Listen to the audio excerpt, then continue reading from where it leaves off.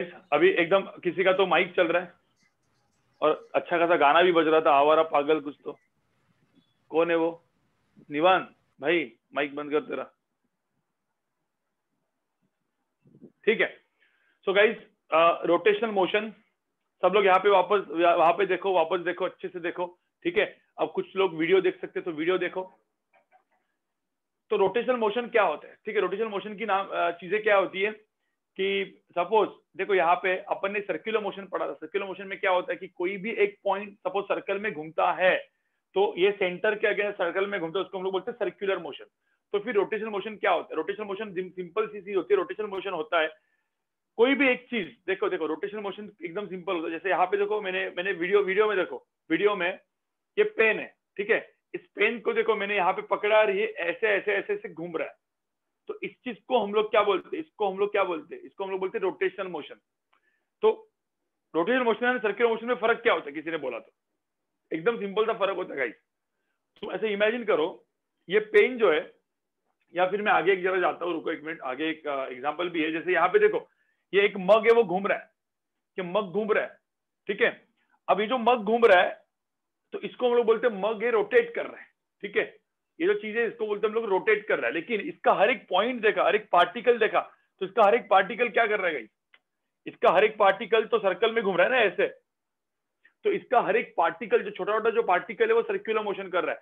तो ऐसे इसमें तो बहुत सारे पार्टिकल जैसे बहुत सारे छोटे छोटे छोटे पार्टिकल्स क्या कर रहे हैं? सर्क्यूलर मोशन कर रहे हैं। उनको सबको मैंने मिला दिया, एक कर दिया तो वो क्या कर रहा है?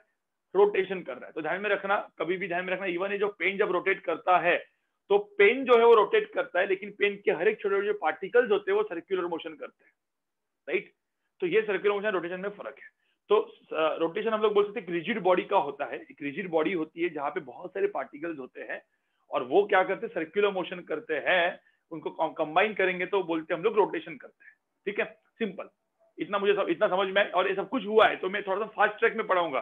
जैसे मैंने आपको बोला था ये रोटेशन मोशन का लेक्चर थोड़ा सा फास्ट ट्रैक में जाएगा मतलब इसमें दो लेक्चर्स को हम कंबाइन कर रहे हैं, जैसे angular velocity and moment of inertia दोनों को हम कंबाइन करके आज मैं आपको पढ़ाऊँगा।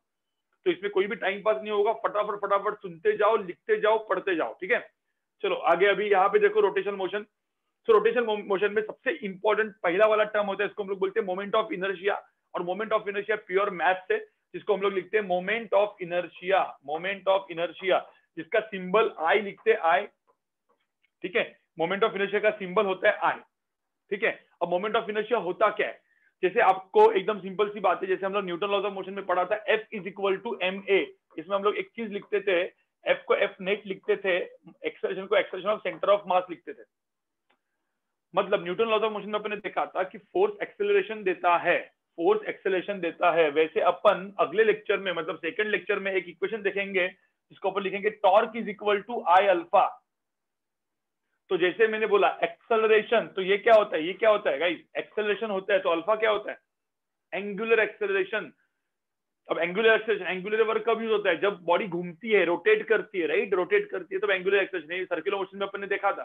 तो एक्सेलरेशन एंगुलर एक्सेलरेशन यहाँ पे, ये जो फोर्स होता है ना फोर्स तो ये जो ये जो यहाँ पे सिंबल डाला है, इस सिंबल को हम लोग बोलेंगे टॉर्क ठीक है? और इसको हम लोग ये भी बोलते हैं मोमेंट ऑफ़ फोर्स क्या बोलते हैं इसको? मोमेंट ऑफ़ फोर्स तो ये फोर्स हो गया तो टॉर्क क्या हो गया? मोमेंट ऑफ़ फोर्स हो गया.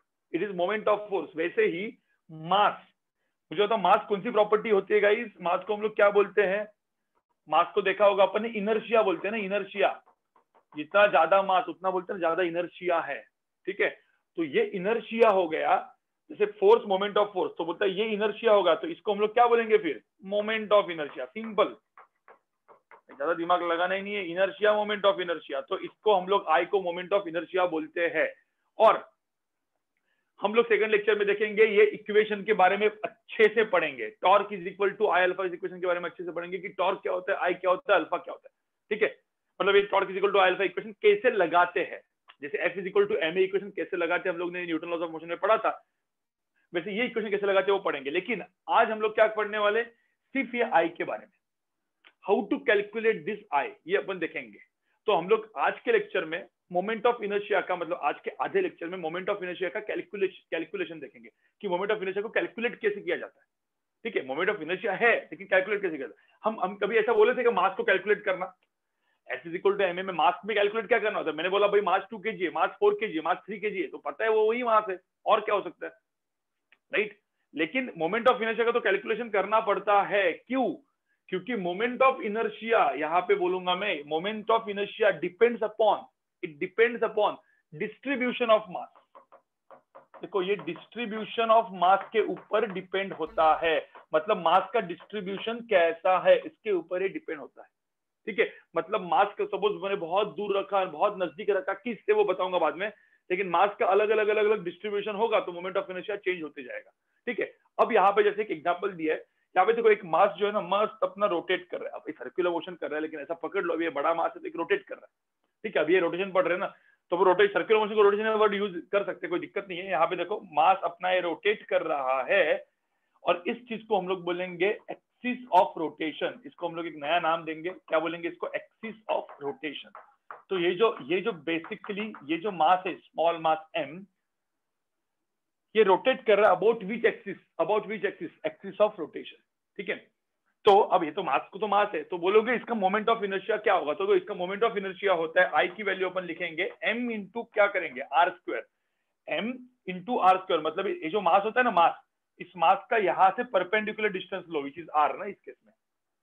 तो अब ये ड्रॉ करने की ज़रूरत नहीं, क्योंकि आपको दिखी रहा है परपेंडिकुलर डिस्टेंस है तो मास का, उस मास का परपेंडिकुलर डिस्टेंस लेने का ठीक है? अब यहाँ पे देखो, आगे के इसमें तीन मासेस लगे M one M two M three तीन मासेस दिए हुए हैं। और इसका इसका ये डिस्टेंस है आर वन इसका डिस्टेंस है आर टू इसका डिस्टेंस है R three perpendicular distance from axis of rotation अब देखो, तीन मासेस घूम रहे थे ठीक है? अब बोलेंगे, भाई मोमेंट ऑफ़ इनर्शिया कितना होगा? तो इसका मोमेंट ऑफ़ इनर्शिया कितना हो जाएगा? M one R one square plus M two R two square plus M three R three square ये हो जाएगा मेरा मोमेंट ऑफ़ इनर्शिया अब मुझे होता है ऐसे बहुत सारे मास एन मासेस रखे होंगे तो इसका मोमेंट ऑफ़ इनर्शिया क्या हो जाएगा? इसका मोमेंट ऑफ़ इनर्शिया हो जाएगा sigma of M I R I square from I one to N समझ में आ रहा है? मैंने क्या लिखा है यहाँ पे एक चीज़? तो ये हो जाएगा मोमेंट ऑफ़ इनर्शिया का कैलकुलेशन चलो फटाफट लिखो फटाफट लिखो पंद्रह सेकंड आपको सब कुछ लिख के भी जाना है लिखते भी रहना है लिखते भी रहना है ठीक है आपको पता होगा तो भी लिखते रहना है लेकिन पंद्रह पंद्रह सेकंड में लिखना है फास्ट लिखो चलो. सर आप थोड़ा कैमरा जूम इन कर सकते हो क्या? नहीं कैमरा जूम इन नहीं कर सकते। ऐसा कोई वो नहीं है मतलब।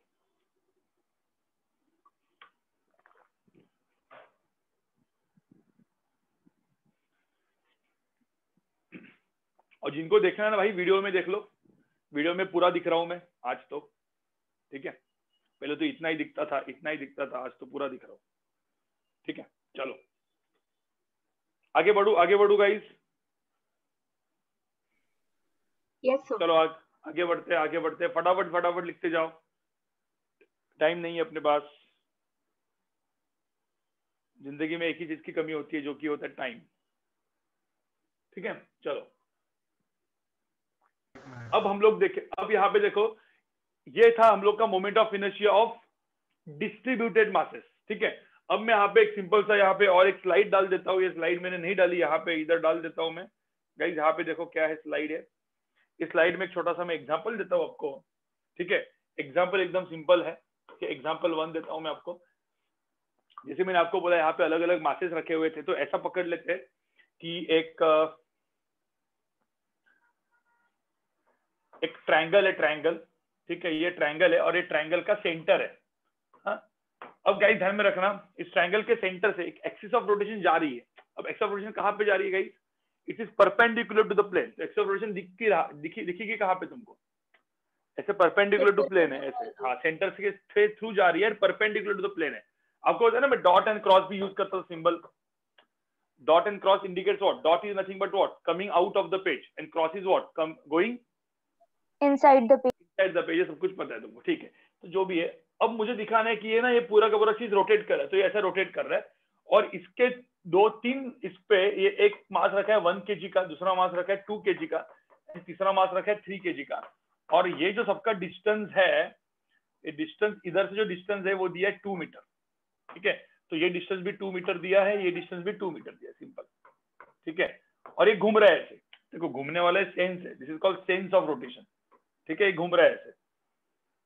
ओमेगा, मैं ओमेगा लिखता हूँ मतलब ऐसा मस्त घूम रहा है। तो मुझे बोला है कि भाई इसका मोमेंट ऑफ़ इनर्शिया कितना होगा? चलो बताओ चैट पे कितना होगा आंसर फटाफट बताओ। Again twenty seconds thirty seconds basically ज़्यादा बड़ा कैलकुलेशन नहीं है।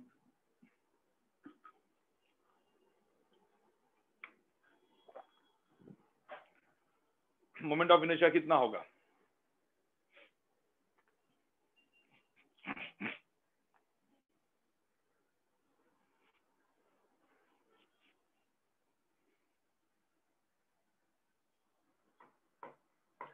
M one M two M three ठीक है?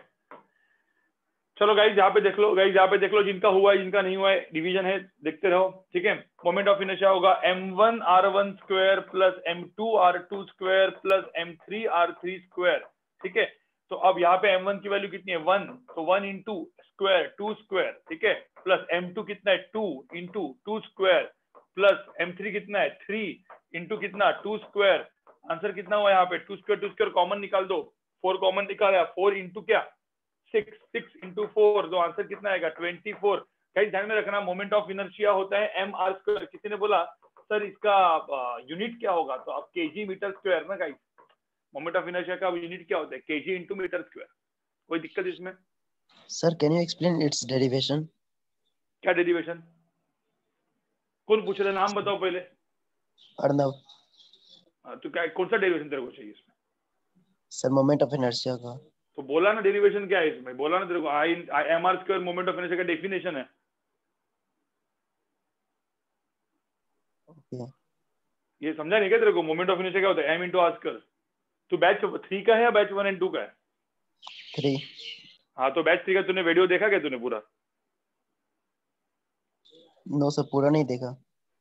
हाँ तो मोमेंट ऑफ़ इनर्शिया डेरिवेशन क्या होता है? डेफिनेशन होता है moment of inertia it is M into R square R is perpendicular distance इसमें डेरिवेशन मतलब क्या? मैं ये बोलूँ कि ये कहाँ से आया ऐसा?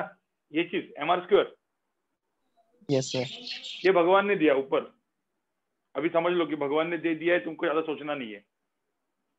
भाई रिसर्च नहीं करना है तुमको इंजीनियर हो। यूज़ करना फटाफट कैलकुलेशन करना आगे बढ़ना है। सर आपने ही बोला था फिजिक्स में डेरिवेशन होएगा ही। हाँ डेरिवेशन बिल्कुल है। मैं डेरिवेशन बताऊँगा ना इंटीग्रेशन वाले डेरिवेशन ये तो मैंने बोला, जैसे x is equal to M A कहाँ से आया है तो वो तो न्यूटन ने लाया है ना, कहीं से। समझ रहे हैं? दो चीज़ें होती है। एक होती है जो रिसर्च किया हुआ है पहले ऑलरेडी लोगों ने, जैसे बर्नौली प्रिंसिपल वो बर्नौली ने ढूंढ के रखा है। अब उसको यूज़ करके अपने को करना है। डेरिवेशन हर एक चीज़ का करो, लेकिन इसका कोई डेरिवेशन नहीं। इट इज़ डेफिनेशन समझा? This define moment of inertia is this M into R square समझ में? क्वेश्चन तुम्हारा अच्छा था, लेकिन गलत जगह पूछ लिया तूने। चलो, आगे बढ़ते हैं। अब अब हम लोग देखते हैं moment of inertia of continuous mass moment of inertia of continuous mass क्या होता है? What is continuous mass continuous mass मतलब क्या? देखो डिस्ट्रीब्यूटेड मासेस क्या होते हैं? डिस्ट्रीब्यूटेड मासेस मतलब क्या?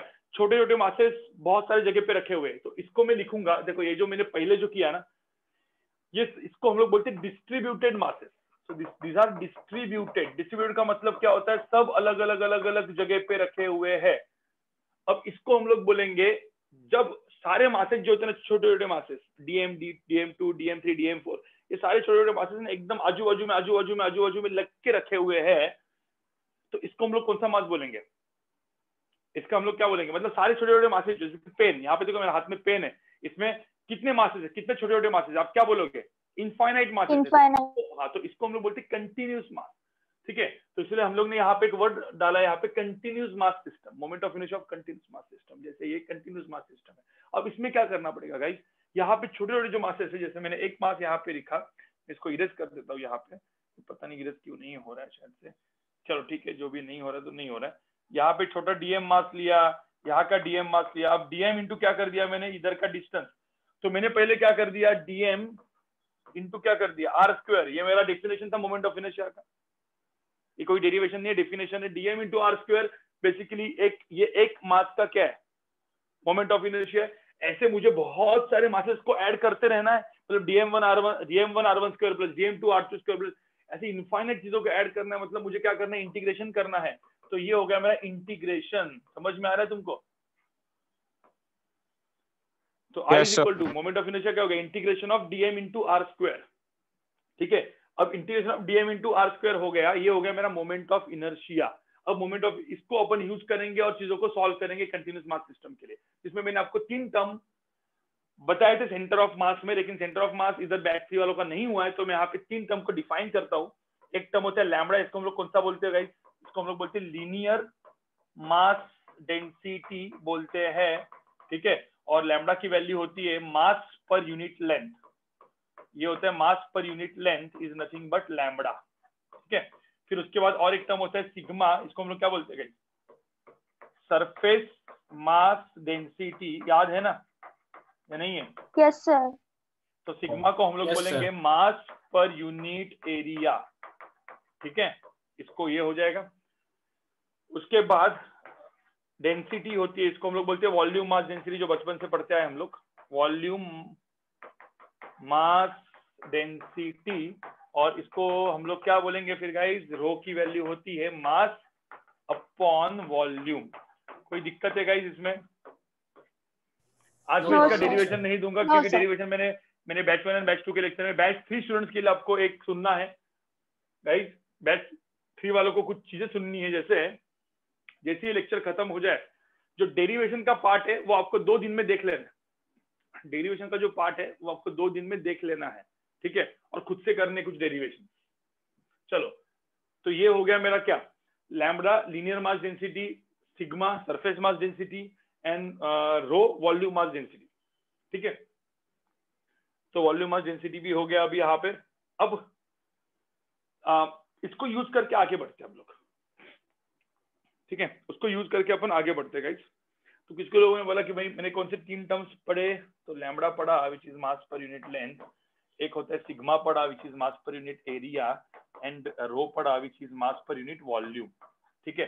अब कभी कभी क्या होता है पता है? कभी कभी गाइस कभी कभी क्या होता है पता है? छोटा मास डीएम मास अपने को लिखना है, ठीक है? तो मैं मास को डीएम लिख दूँगा तो डीएम की वैल्यू क्या हो जाएगी? लैमडा इंटू डीएक्स हो जाएगी ना ये? देखो ना सेम चीज़ यूज़ किया मैंने, देखो ना यहाँ पे। मुझे होता है यहाँ पे। डीएम की मास यहाँ ईएम की वैल्यू यहाँ पे क्या हो जाएगी? सिग्मा इंटू क्या हो जाएगी? स्मॉल एरिया डीए और यहाँ पे ये वाला चीज़ क्या हो जाएगा? बताओ मुझे यहाँ पे डीएम की मास क्या हो जाएगी? रो इंटू क्या? स्मॉल वॉल्यूम डीवी तो कभी कभी ये जो चीज़ मैंने बोला है ना ये भी काम में आता है। ये भी इंटीग्रेशन में काम में आता है गाइस चलो आगे बढ़ते हैं। देखो इसको। देखो 20 सेकंड दे रहा हूँ मैं आपको। 20 सेकंड दे रहा हूँ फटाफट लिखो। हाँ बोलो। Sir share screen is bit lagging आप जो लिख रहे हैं वो बहुत डिले के बाद आ रहा है शेयर स्क्रीन पे। ओके ऐसा ऐसा बीच बीच में हो रहा है तो बाकी Yes. सब नॉर्मल आ रहा है। How is मैं देख रहा हूँ मैं देख रहा हूँ देख रहा हूँ एक मिनट नहीं हो रहा है हो रहा है भाई। वो कभी कभी हो रहा होगा मतलब अभी तो बराबर हो रहा था। वैसे भी अभी मैं एक मेरे अपने ही बिल्डिंग में एक नया वाला आया है अ, नेट टाटा स्काई का। तो वो भी मैं लगाने वाला हूँ ब्रॉडबैंड मतलब सिर्फ़ ये रीजन के लिए एक टाटा स्काई का ब्रॉडबैंड लगाने वाला हूँ ठीक है? और बाकी घर में लिए अपना जो नॉर्मल चल रहा है वही चल रहा है। ठीक है?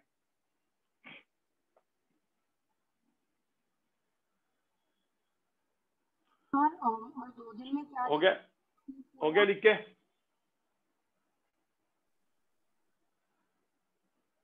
ठीक है। चलो आगे बढ़े आगे बढ़े। कोई कुछ बोल रहा था? वो गलती से माइक चालू था या कुछ बोल रहा था? कुछ पूछ रहा था? सर मैं पूछ रही थी कि आपने कुछ बोला देखने और टू डेज़ में वो क्या था? मैं थोड़ी डिस्कनेक्ट हो गई थी और आप बोल रहे थे कुछ। ओके टू डेज़ में आपको देखना है कि इसका जो इंटीग्रेशन वाला पार्ट है उसको देखना है आपको। जो इंटीग्रेशन वाला पार्ट मैंने आपको बोला ना मत देखो अभी टाइम वेस्ट हो जाएगा वो उसको आपको देखना है इस लेक्चर के बाद आज। ओ okay sir thank you sir ठीक है चलो। अब यहाँ पे आगे बढ़ते जरा आगे बढ़ते आगे बढ़े। यस सर यस सर अब जैसे यहाँ पे देखो इंटीग्रेशन का पार्ट क्या होता है ना मैं आपको एक सिंपल सा एक आपको फटाफट फटाफट बताऊँगा।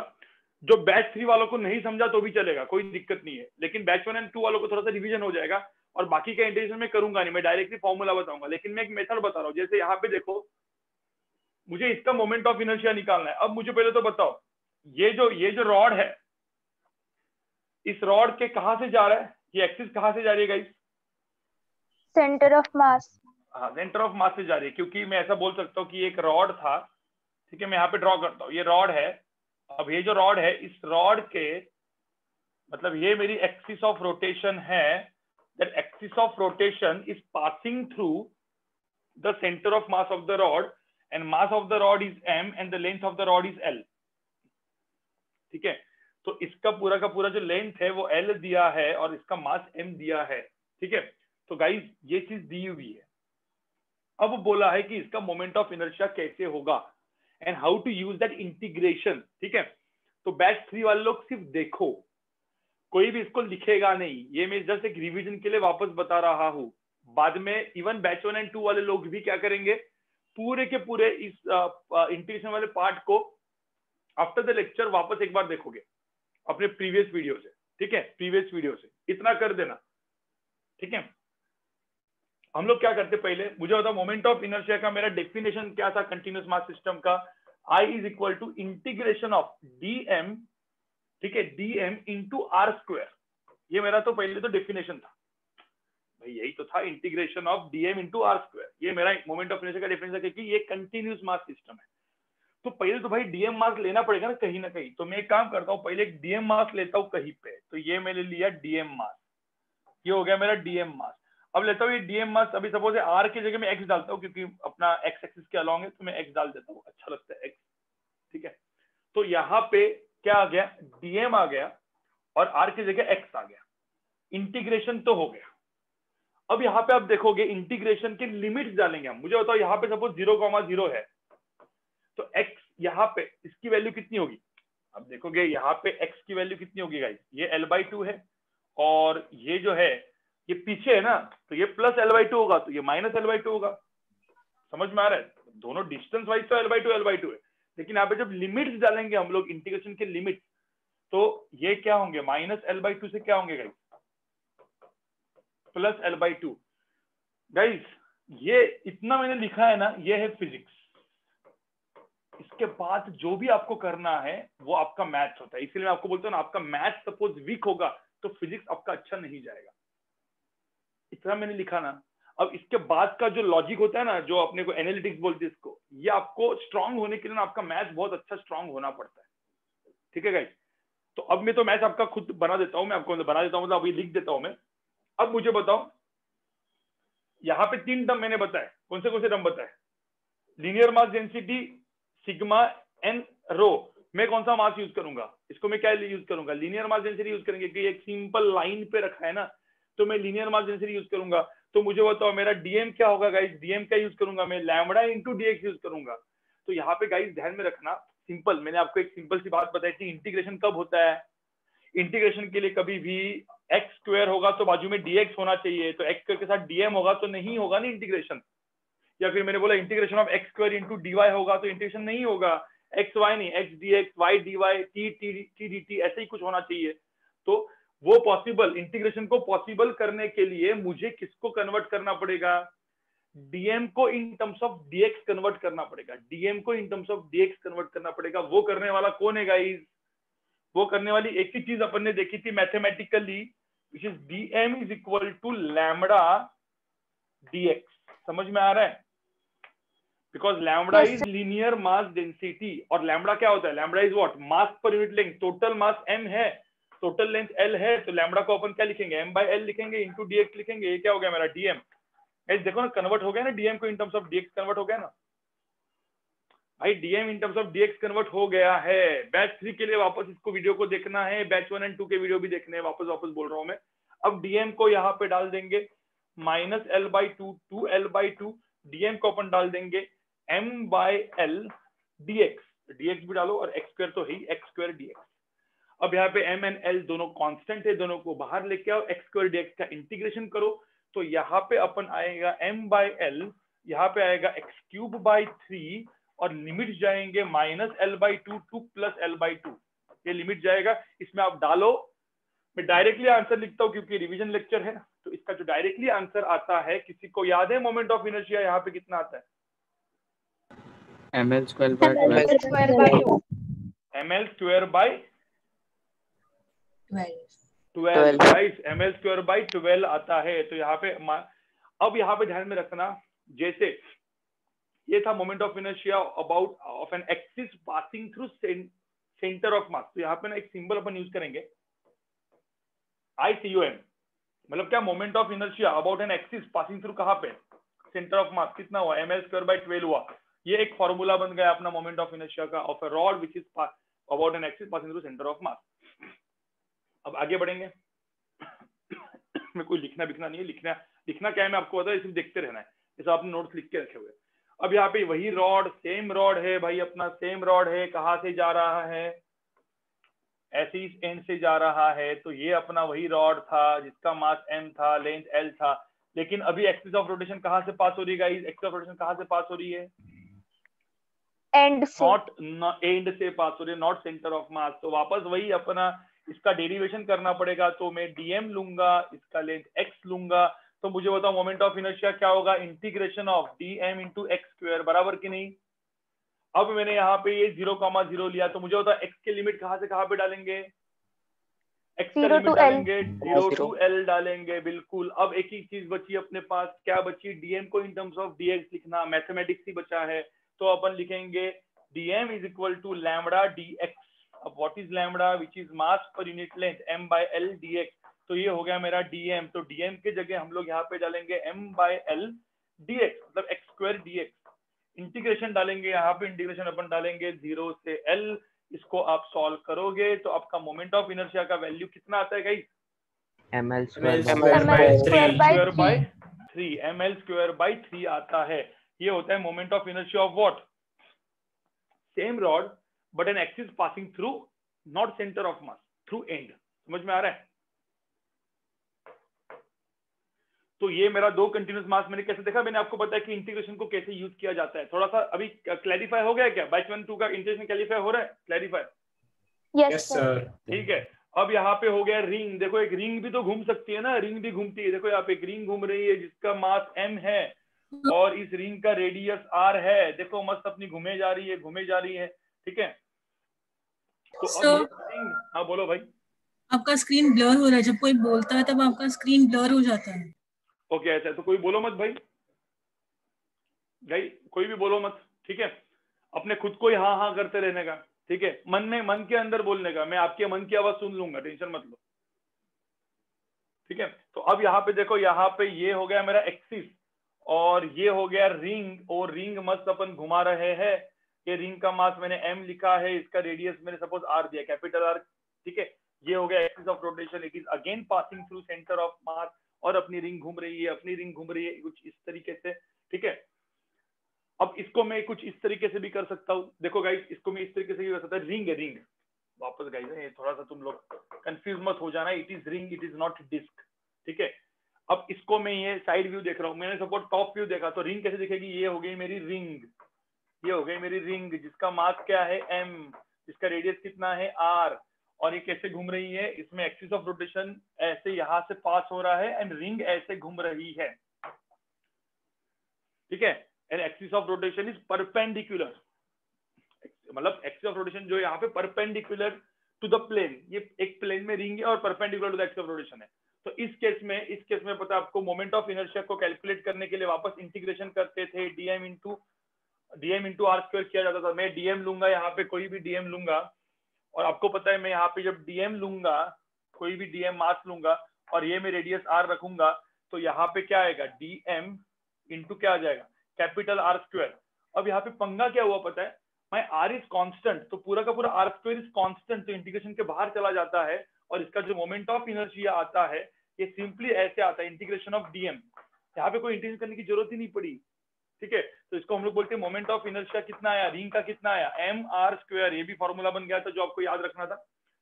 So moment of inertia of a ring ठीक है? About an axis passing through centre of mass and perpendicular to the plane तो यहाँ पे एक सिंपल सी बात है axis of rotation it is perpendicular देखो यहाँ पे वर्ड यूज़ में कर रहा हूँ perpendicular to the plane of rotation to the plane of the ring ठीक है? Axis of rotation is perpendicular to plane of ring ये मैंने लिखा बहुत इंपॉर्टेंट है गाइस ठीक है? तो ये रिंग का मोमेंट ऑफ़ इनर्शिया हो गया। ठीक है? ये रिंग का मोमेंट ऑफ़ इनर्शिया हो गया। अब इसके बाद आता है डिस्क का मोमेंट ऑफ़ इनर्शिया डिस्क का मोमेंट ऑफ़ इनर्शिया का मैंने डेरिवेशन भी दिया हुआ है। देख लेना बाद में।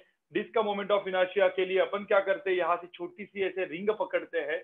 और ये रिंग का मास डीएम लेते हैं फिर ये आर लेते हैं स्मॉल आर फिर इसका इंटीग्रेशन किया जाता है और डिस्क का जो मोमेंट ऑफ़ इनर्शिया आता है वो आता है M R square by two तो moment of inertia of disc कितना होता है? M R square by two होता है। ये डेरिवेशन जो है वो बैच थ्री वालों के लिए किससे देखना है? Even batch N one and two वालों को, को भी देखना है बाद में ठीक है? बाद में देखना है। इसके बाद ये क्या हो गया? बहुत गंदी तरीके से इन्होंने स्फीयर बनाया। एक प्रॉपर स्फीयर है गाइस ठीक है? एक प्रॉपर स्फीयर है, लेकिन ये हॉलो स्फीयर है। दिस इज़ हॉलो स्फीयर अब हॉलो स्फीयर के लिए भी आप डेरिवेशन करोगे, मैंने आपको होमवर्क दिया था शायद डेरिवेशन के लिए। लेकिन एक्सियोरमा में इसका डेरिवेशन दिया हुआ है। एक्सियोरमा में थेरोटिकल में डेरिवेशन दिया है। कुछ कुछ बहुत सारे रिंग्स लेने हैं और इस रिंग को इंटीग्रेट करना होता है। तो आपको होलोस्फीयर का मोमेंट ऑफ़ इनर्शिया मिलता है। और इसका मोमेंट ऑफ़ इनर्शिया कितना आता है? Two by three M R square आता है कितना आता है two by three M R square hollow sphere का मोमेंट ऑफ़ इनर्शिया आता है axis passing through centre of mass उसके बाद, आगे का, अभी लिखो मत, मैं अभी एक ही पेज में सब कुछ लेने वाला हूँ, अभी सिर्फ़ लिखना नहीं अभी आपको सुनना है। ये होता है सॉलिड स्फीयर सॉलिड स्फीयर का मोमेंट ऑफ़ इनर्शिया जो होता है, वो कितना आता है? वो आता है two by five M R square तो अभी याद रखना है, देखो अभी याद रखना है, सारे के सारे एक ही पेज में ये आपको लिखना है। ये आपको लिखना है गाइस ये पूरा का पूरा आपको ड्रॉ करना है। पहले सब लोग सुनो और आज के आज अभी दिमाग में डाल दो इसका। सारे जगह एक्सिस ऑफ़ रोटेशन जो dot dot dot dot draw किया है एक्सिस ऑफ़ रोटेशन है। तो एक्सिस ऑफ़ रोटेशन इसमें मोमेंट ऑफ़ इनर्शिया इसका हो जाएगा। M L square by twelve इसका मोमेंट ऑफ़ इनर्शिया हो जाएगा। M L square by three इसका मोमेंट ऑफ़ इनर्शिया हो जाएगा। ठीक है? देखो यहाँ पे where axis all these are axis of rotation but centre of mass है। ये सेंटर ऑफ़ मास ये कोई भी एक्सिस ठीक है? ये है एम आर स्क्वायर ठीक है? इसका मास एम है रेडियस आर है ठीक है? इसका भी मास एम है और रेडियस आर है। इस, इसका जो सेंटर ऑफ़ मास जो जा रहा है वो था M R square by two इसका मोमेंट ऑफ़ इनर्शिया कितना है? आई सेंटर ऑफ़ मास का। ये है स्फीयर लेकिन ये हॉल हॉलो स्फीयर ठीक है? और ये था solid sphere solid sphere and hollow sphere में फ़र्क समझ में आता है ना तुमको? इतना तो पढ़ा है तुमने। ये होता है डिस्क ये होती है रिंग कोई दिक्कत? नो सर ठीक है? और ये चीज़ हो जाएगी टू बाय यहाँ पे हो जाएगी two by three M R square और यहाँ पे मोमेंट ऑफ़ इनर्शिया क्या हो जाएगा? Two by five M R square चलो इसको पूरा का पूरा लिख दो गाइस गाइस ये एक पेज को लिख दो। ये होते अलग अलग अलग अलग moment of inertia of the different different systems ठीक है? हाँ अभी रिंग के बाजू में ना आपको पता है रिंग तो मैंने और एक चीज़ बताई थी। बताओ क्या बताई थी मैंने? रिंग के साथ साथ क्या होता है? Hollow cylinder or hollow cylinder बिल्कुल. बिल्कुल। कोई एक हॉलो सिलेंडर होगा। भाई हॉलो सिलेंडर भी तो भाई रिंग देखो ना ये जो चीज़ है इसको हम लोग हॉलो सिलेंडर बोलते हैं।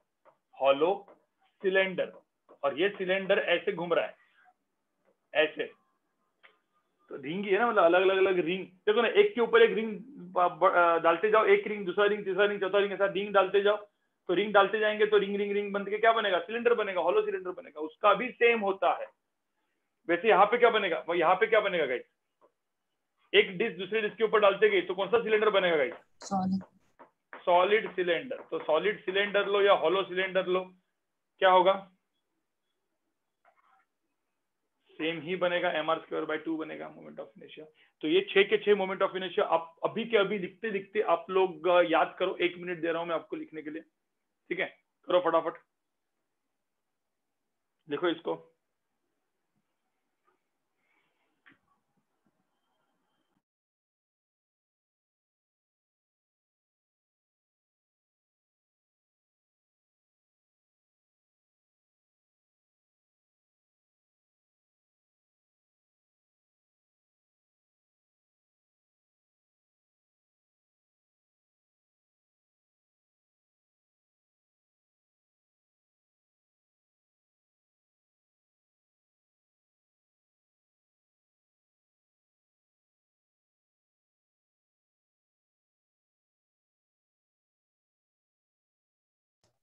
Done, sir.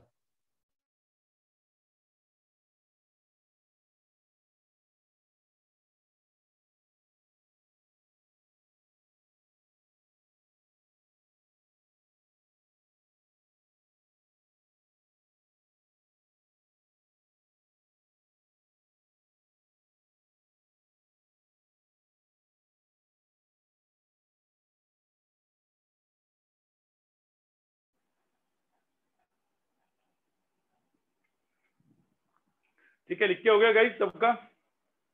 Yes yes sir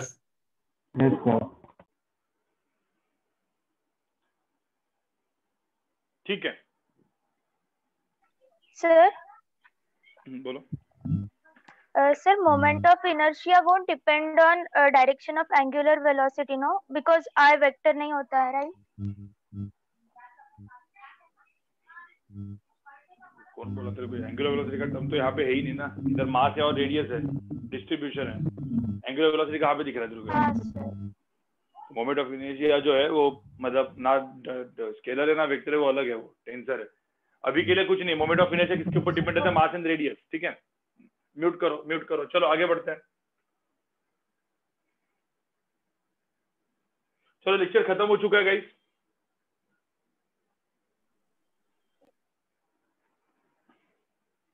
मज़ाक कर रहा था। फटाफट लोग तो दो चार लोग निकल भी गए होंगे।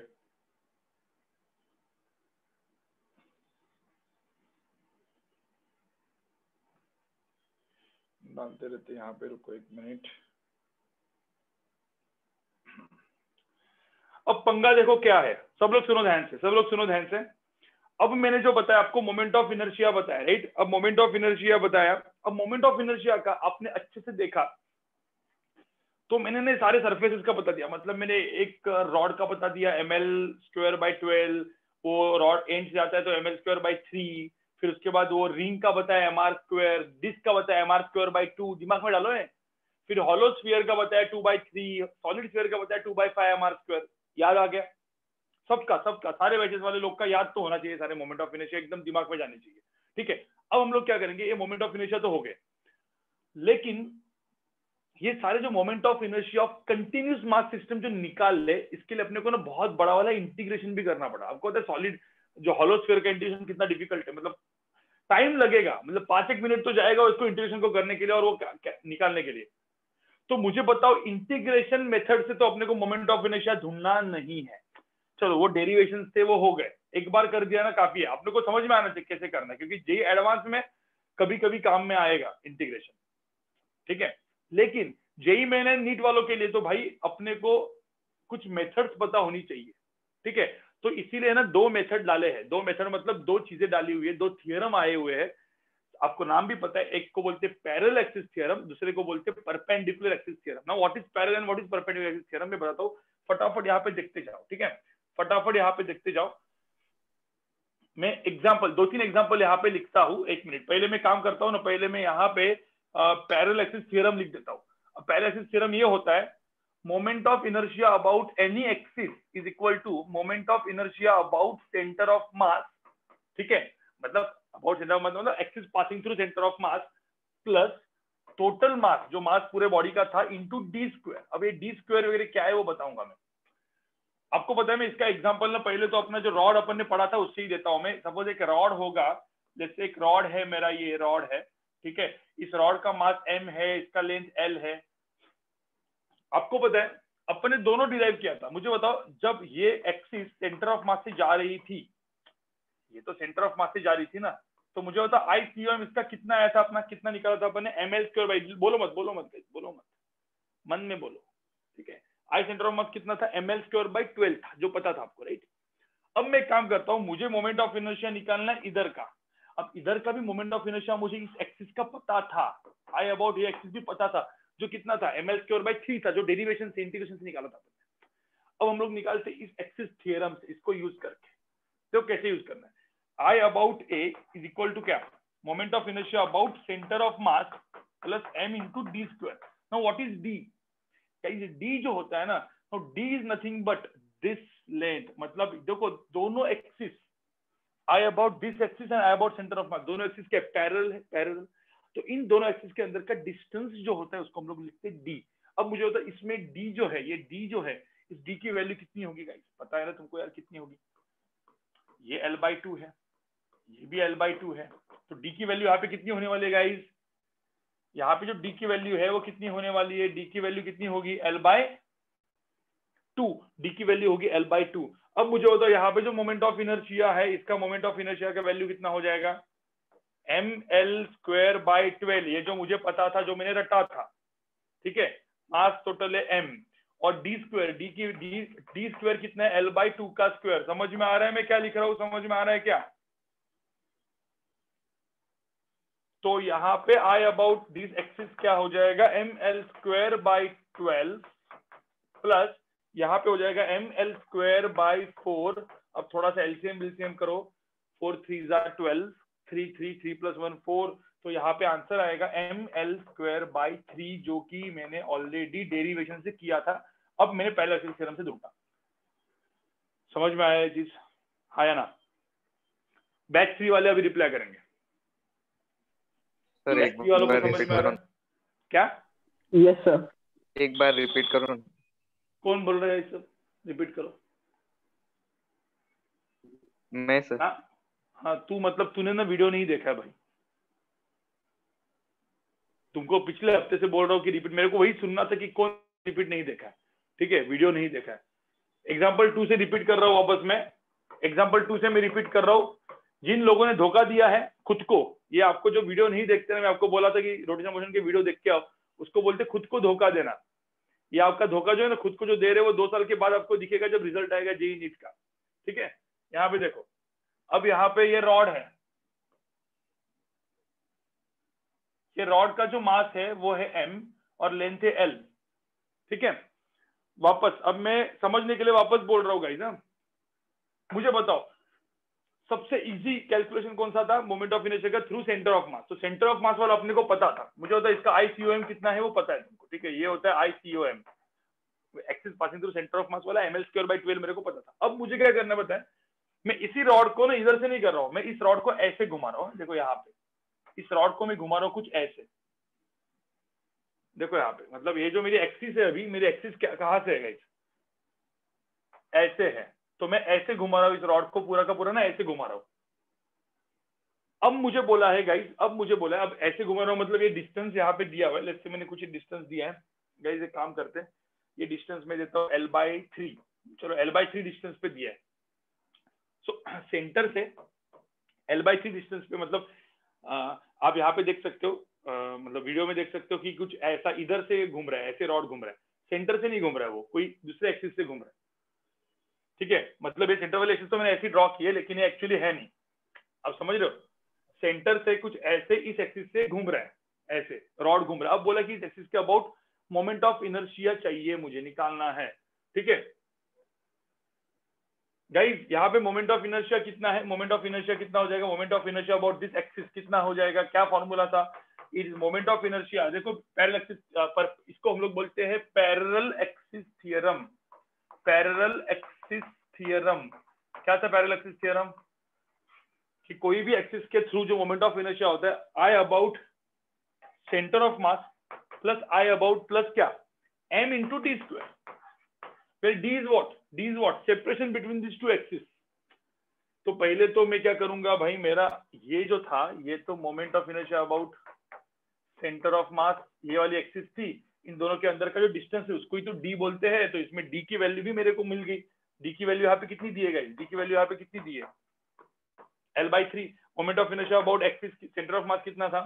एम इंटू क्या था? एक स्मॉल एम लिखा ना यहाँ पे ठीक है? तो m into M into L square divide by twelve था। प्लस m इंटू डी की वैल्यू कितनी थी डी की वैल्यू कितनी थी? L बाई थ्री का स्क्वायर था। तो ये था मेरा moment of inertia about axis तो आंसर कितना है? M L square by twelve plus M L square by nine ठीक है? अब ये तो आ ही जाएगा आपको। नाइन एंड ट्वेल्व का एलसीएम निकालो कितना है? थर्टी सिक्स तो four and three seven by thirty six तो आंसर कितना जाएगा? आई अबाउट दिस एक्सिस क्या हो जाएगा? Seven by thirty six M L square समझ में आ रहा है क्या? नहीं समझ में आ रहा है। वो पहले बताओ। यस सर समझा। यस सर समझा। समझ आया ठीक है। तो इसको इन दोनों फटाफट फटाफट, इन दोनों को भी लिखो फटाफट। और हेडिंग डाल दो parallel axis theorem example one example two ऐसे बहुत सारे एग्जांपल में देने वाला हूँ।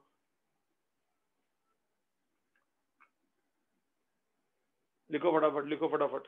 क्योंकि मुझे वो एंगुलर वेलोसिटी भी पढ़ाना है, वो भी इंपॉर्टेंट है, लेकिन उसके मतलब ये खत्म होने के बाद छोटा सा ब्रेक दूँगा पाँच मिनट का, उसके बाद मैं एंगुलर वेलोसिटी पढ़ाऊँगा आपको।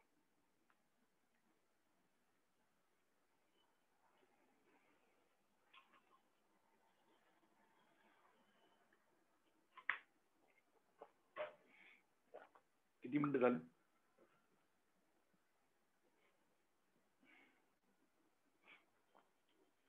चलो लिखो फटाफट लिखो गाईज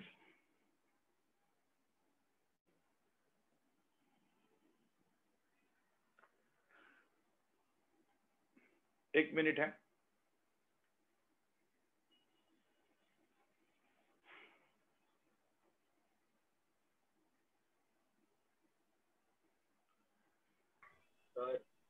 हाँ बोलो। सर अभी विज्ञानिकी का four two four forty computer science किया तो चलेगा। अभी कर, अभी कोई दिक्कत नहीं है। मिस किया तो चलेगा।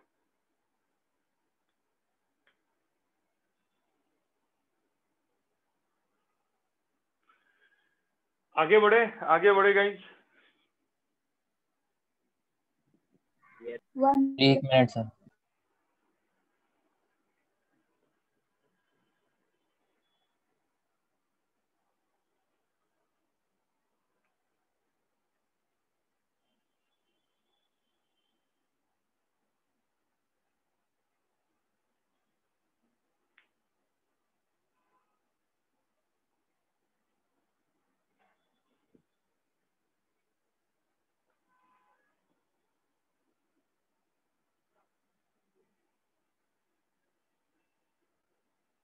चलो। डन सर हाँ। तो अब यहाँ पे देखो यहाँ पे अपन ने देखा है कि मोमेंट ऑफ़ इनर्शिया मैंने आपको बोला पैरालिसिस थ्योरम ठीक है आप पैरालिसिस थ्योरम ना अपन रिंग के लिए लगा देते हैं। अब एक काम करो देखो मैं टॉप व्यू देख रहा हूँ और टॉप व्यू मतलब रिंग को ऐसे देख रहा हूँ ऊपर से देख रहा हूँ मैं। अपना रिंग मस्त घूम रही है। ये है रिंग ठीक है? अब मुझे बताओ ये जो एक्सिस है ना एक्सिस मुझे कौन सा एक्सिस वाला पता है? मुझे बताओ एक्सिस कौन सा वाला? मैंने जो फॉर्मूला बताया था रिंग का वो एक्सिस कहाँ से जा रही है? सेंटर ऑफ़ मास से जा रही है and that axis perpendicular to the plane of the ring ना? मतलब मुझे बताओ एक्सिस यहाँ पे कहाँ पे आ रही है? प्लेन के कहाँ पे आ रही है प्लेन के कहाँ पे आ रही है? बाहर। प्लेन के बाहर आ रही है मतलब ऐसे घूम रहा है ना मतलब एंगुलर वेलोसिटी ऐसे है इसकी। द सेंस ऐसा है। मतलब ये बेसिकली गाइस ध्यान में रखना axis is perpendicular to the plane तो ये जो मैंने दिखा है वो आई सेंटर ऑफ़ मास अपने को पता है आई सेंटर ऑफ़ मास की वैल्यू अपने को पता होती है कितनी होती है। एम आर स्क्वायर होता है राइट एम आर स्क्वायर होता है। अब मुझे बताओ, अब मुझे एक एक्सिस का निकालना है जो कि ये है। इस पॉइंट से टेंजेंट ये जो पॉइंट है ना, यहाँ से जा रही है, लेकिन वो भी बाहर ही आ रही है, ठीक है? मतलब बेसिकली मुझे बताओ एक्चुअल में कैसे घूम रहा है अभी? ये ओमेगा इधर नहीं लिखता मैं। अब ये जो एक्चुअल में जो है, ये पूरी की पूरी, ये ऐसे घूम रही है, समझ में है ना रिंग ये मैंने टॉप व्यू दिखा है। मुझे होता यही इसी इसी को टॉप व्यू को मुझे वाला व्यू दिखाना होता तो मैं ऐसे दिखाता? देखो ऐसे। ये ये रिंग सेम ही है, देखो, ये सेम है रिंग और मेरी जो एक्सिस है वो कैसे जा रही है, ऐसे जा रही है। समझ में आ रहा है कि नहीं आ रहा है? समझ में आ रहा है? दोनों चीज़ सेम ही चीज़। ये साइड व्यू है। और ये कौन सा व्यू है? टॉप व्यू ठीक है? तो गाइस ध्यान में रखना। तो इसका मास मैंने, यहाँ पे इसका मास m दिखा है रेडियस मैंने r दिया हुआ है। ठीक है? अब मेरे को इधर का मोमेंट ऑफ़ इनर्शिया निकालना, देखो इंटीग्रेशन से बहुत डिफ़िकल्ट होता। तो मैं यहाँ पे लिखता हूँ इंटीग्रेशन से जो करेगा इंटीग्रेशन से जो करेगा, उसके लिए बहुत ही डिफ़िकल्ट होगा, क्योंकि डीएम इंटू कुछ डीएम इंटू आर स्क्वायर का इंटीग्रेशन करने जाओगे ना, तुमको समझ में आएगा कितना डिफ़िकल्ट है। भाई, बहुत डिफ़िकल्ट होता है डीएम इंटू आर स्क्वायर का इंटीग्रेशन से करने जाएँगे ना तो काफ़ी अच्छा खासा डिफ़िकल्ट होता है, ये नहीं करना है। तो क्या लगाना है? पैरेलल एक्सिस थ्योरम लगाना है। पैरेलल एक्सिस थ्योरम मतलब क्या? कौन सा पैरेलल एक्सिस थ्योरम था? I about any axis is equal to I about centre of mass plus M into D square अब यहाँ पे कौन दो पैरेलल है? देखो पैरेलल एक्सिस थ्योरम का नाम पैरेलल एक्सिस क्यों है? क्योंकि एक्सिस पैरेलल है।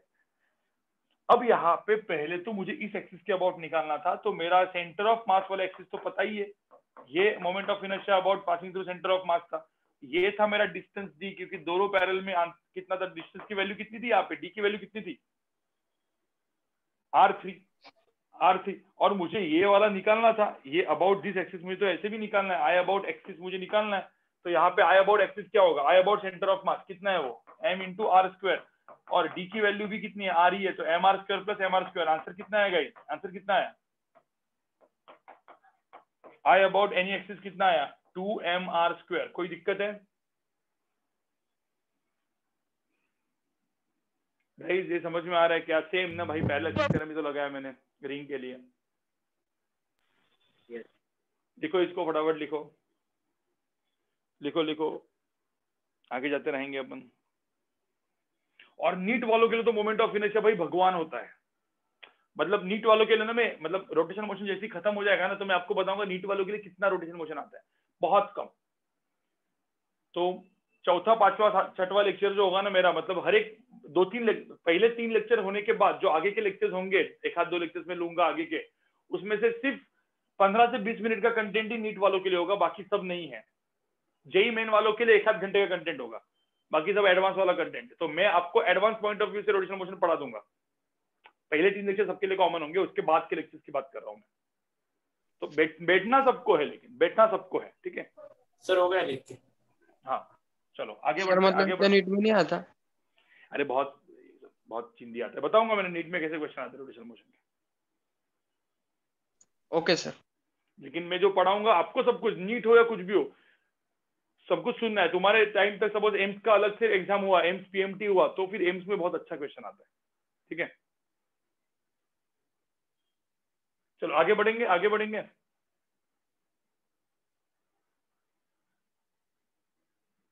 चलो, अब मुझे बताओ एग्ज़ाम्पल फोर मैं एग्ज़ाम्पल फोर दे रहा हूँ, फटाफट तुम लोग मुझे बताओगे कैसे करोगे, ठीक है? तुम बताओगे मुझे। यही था रिंग ठीक है, ये रिंग ही था। और यहाँ पे मेरा एक्सिस ऑफ़ रोटेशन पास हो रहा है, कुछ डिस्टेंस आर बाई टू से, और ऐसे घूम रहा है। समझ में आ रहा है? चलो बताओ इसका मोमेंट ऑफ़ इनर्शिया कितना होगा? फटाफट बताओ मोमेंट ऑफ़ इनर्शिया कितना होगा? ठीक है? मतलब एक्सिस परपेंडिकुलर इसको, ये जो एक्सिस होती है ना आई अबाउट दिस एक्सिस इसका मतलब क्या होता है? मैंने ऐसे क्यों ड्रॉ किया क्योंकि axis is perpendicular to the plane axis perpendicular to plane of the ring जो प्लेन होते हैं रिंग का प्लेन जो होता है, उसके परपेंडिकुलर है। इमेजिन करो थोड़ा सा। ठीक है? बताओ आंसर चैट पे डालो फटाफट चैट पे डालो आंसर फिर मैं बताऊँगा।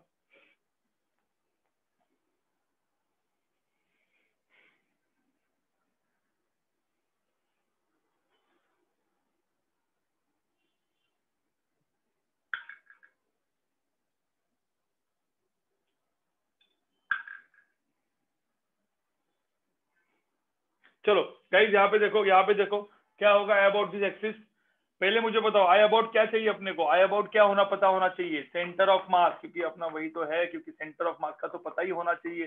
सेंटर ऑफ़ मास का पता नहीं होगा तो आई अबाउट एनी एक्सिस निकाल ही नहीं सकते, क्योंकि फॉर्मूला में ही ये है। भाई, यही तो मेरा फॉर्मूला है ना पैरल एक्सिस थ्योरम का। इसमें ही I centre of mass I centre of mass की वैल्यू कितनी होती है रिंग की? एम आर स्क्वायर अब मुझे यहाँ पे बताओ डी कितना है? जो d है वही तो d ये है दिया है r बाई टू तो यहाँ पे d की वैल्यू r बाई टू दी हुई है तो यहाँ पे डाल देने की। तो m into R by two का स्क्वायर हो जाएगा तो आंसर यहाँ पे आ जाएगा M R square by four इधर इधर जाओ तो five M R square by four ये मेरा आंसर हो जाएगा। कोई दिक्कत है इसमें मुझे बताओ? नो सर ठीक है एग्ज़ाम्पल फाइव भी करो चलो। एग्ज़ाम्पल फोर लिखो अभी जिनका नहीं लिखने हुआ है।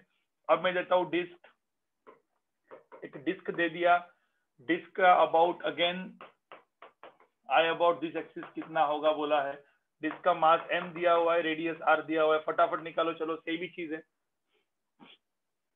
सेम ही चीज़ है moment of inertia of disc passing to centre of mass पता होना चाहिए, जो आपको फॉर्मूला रखने के लिए बोला था मैंने। करो फटाफट, चलो।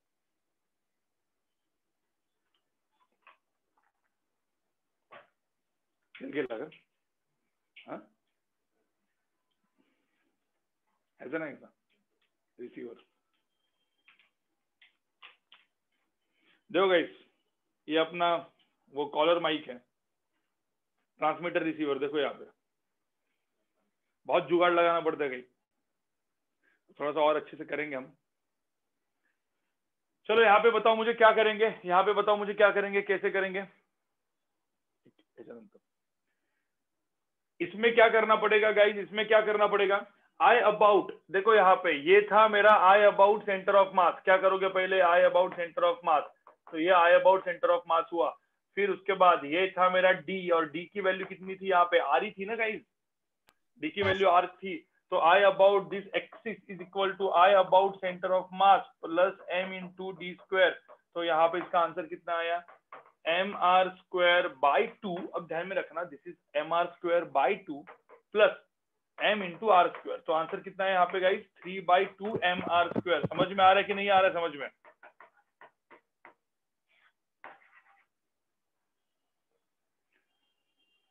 गाइस समझ में आ रहा है क्या? यस यस सर अरे तुम batch one batch one two वाले मत बोलो। तुमको तो समझ में आना ही चाहिए नहीं तो मारूँगा तुमको मैं। बाकी वालों को बोल रहा हूँ मैं। आ रहा है सर समझ में। हाँ। यस सर चलो तो ये ये समझ में sir. एग्ज़ाम्पल हाँ एग्ज़ाम्पल फॉर एग्ज़ाम्पल फाइव समझ में आया। चलो आगे बढ़ते हैं अपन। लिखो इसको। हाँ लिखो लिखो।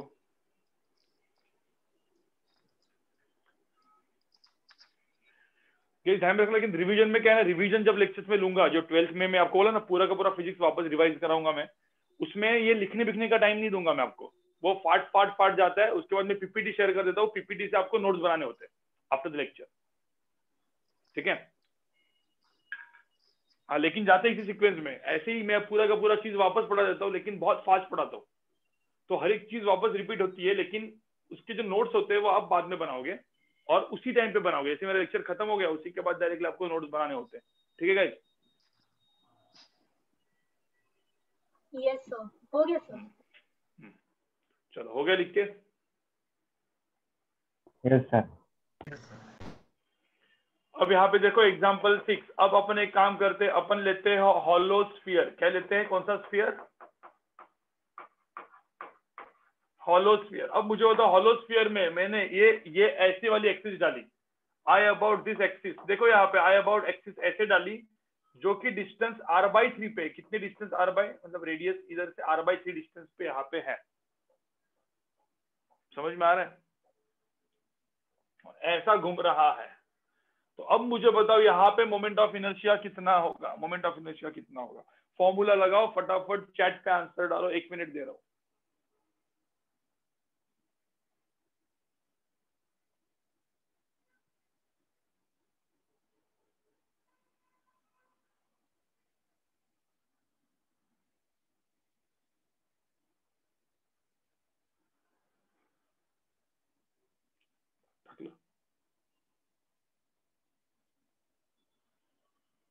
आवाज़ येतोय प्रॉपर येतोय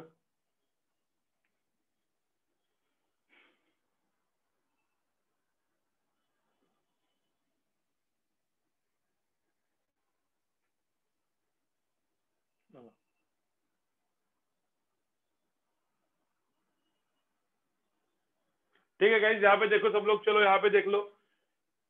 क्या था यहाँ पे? पहले क्या करना है? ये था basically I about centre of mass ये बेसिकली था डिस्टेंस तो यहाँ पे जो, ये जो डिस्टेंस था, उसको हम लोग बोलते हैं डी तो यहाँ पे डी की वैल्यू कितनी आई गाइस डी की वैल्यू हुई आर बाई थ्री ठीक है? अपना मत लगाओ, अपना सेंटर ऑफ़ अपना यही equation I about axis is equal to I about centre of mass plus M into D square अब मुझे बताओ, ये लगेगा होलोस्फियर ये होलोस्फियर है। ठीक है? होलोस्फियर के लिए क्या होता है? टू बाई क्या होता है? थ्री एम आर स्क्वायर होता है। प्लस एम इंटू डी की वैल्यू कितनी है? आर बाई थ्री का स्क्वायर तो यहाँ पे क्या होगा? M R square by nine three मतलब नाइन का एलसीएम हो जाएगा तो आंसर क्या आ जाएगा? Five M R square by nine समझ में आ रहा है कि नहीं आ रहा है तुमको ऐसे?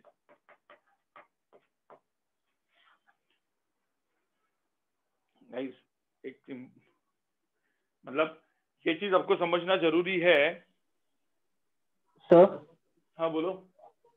सर सेवन आए। सर ये फाइव होगा। सर सेवन सेवन होगा sir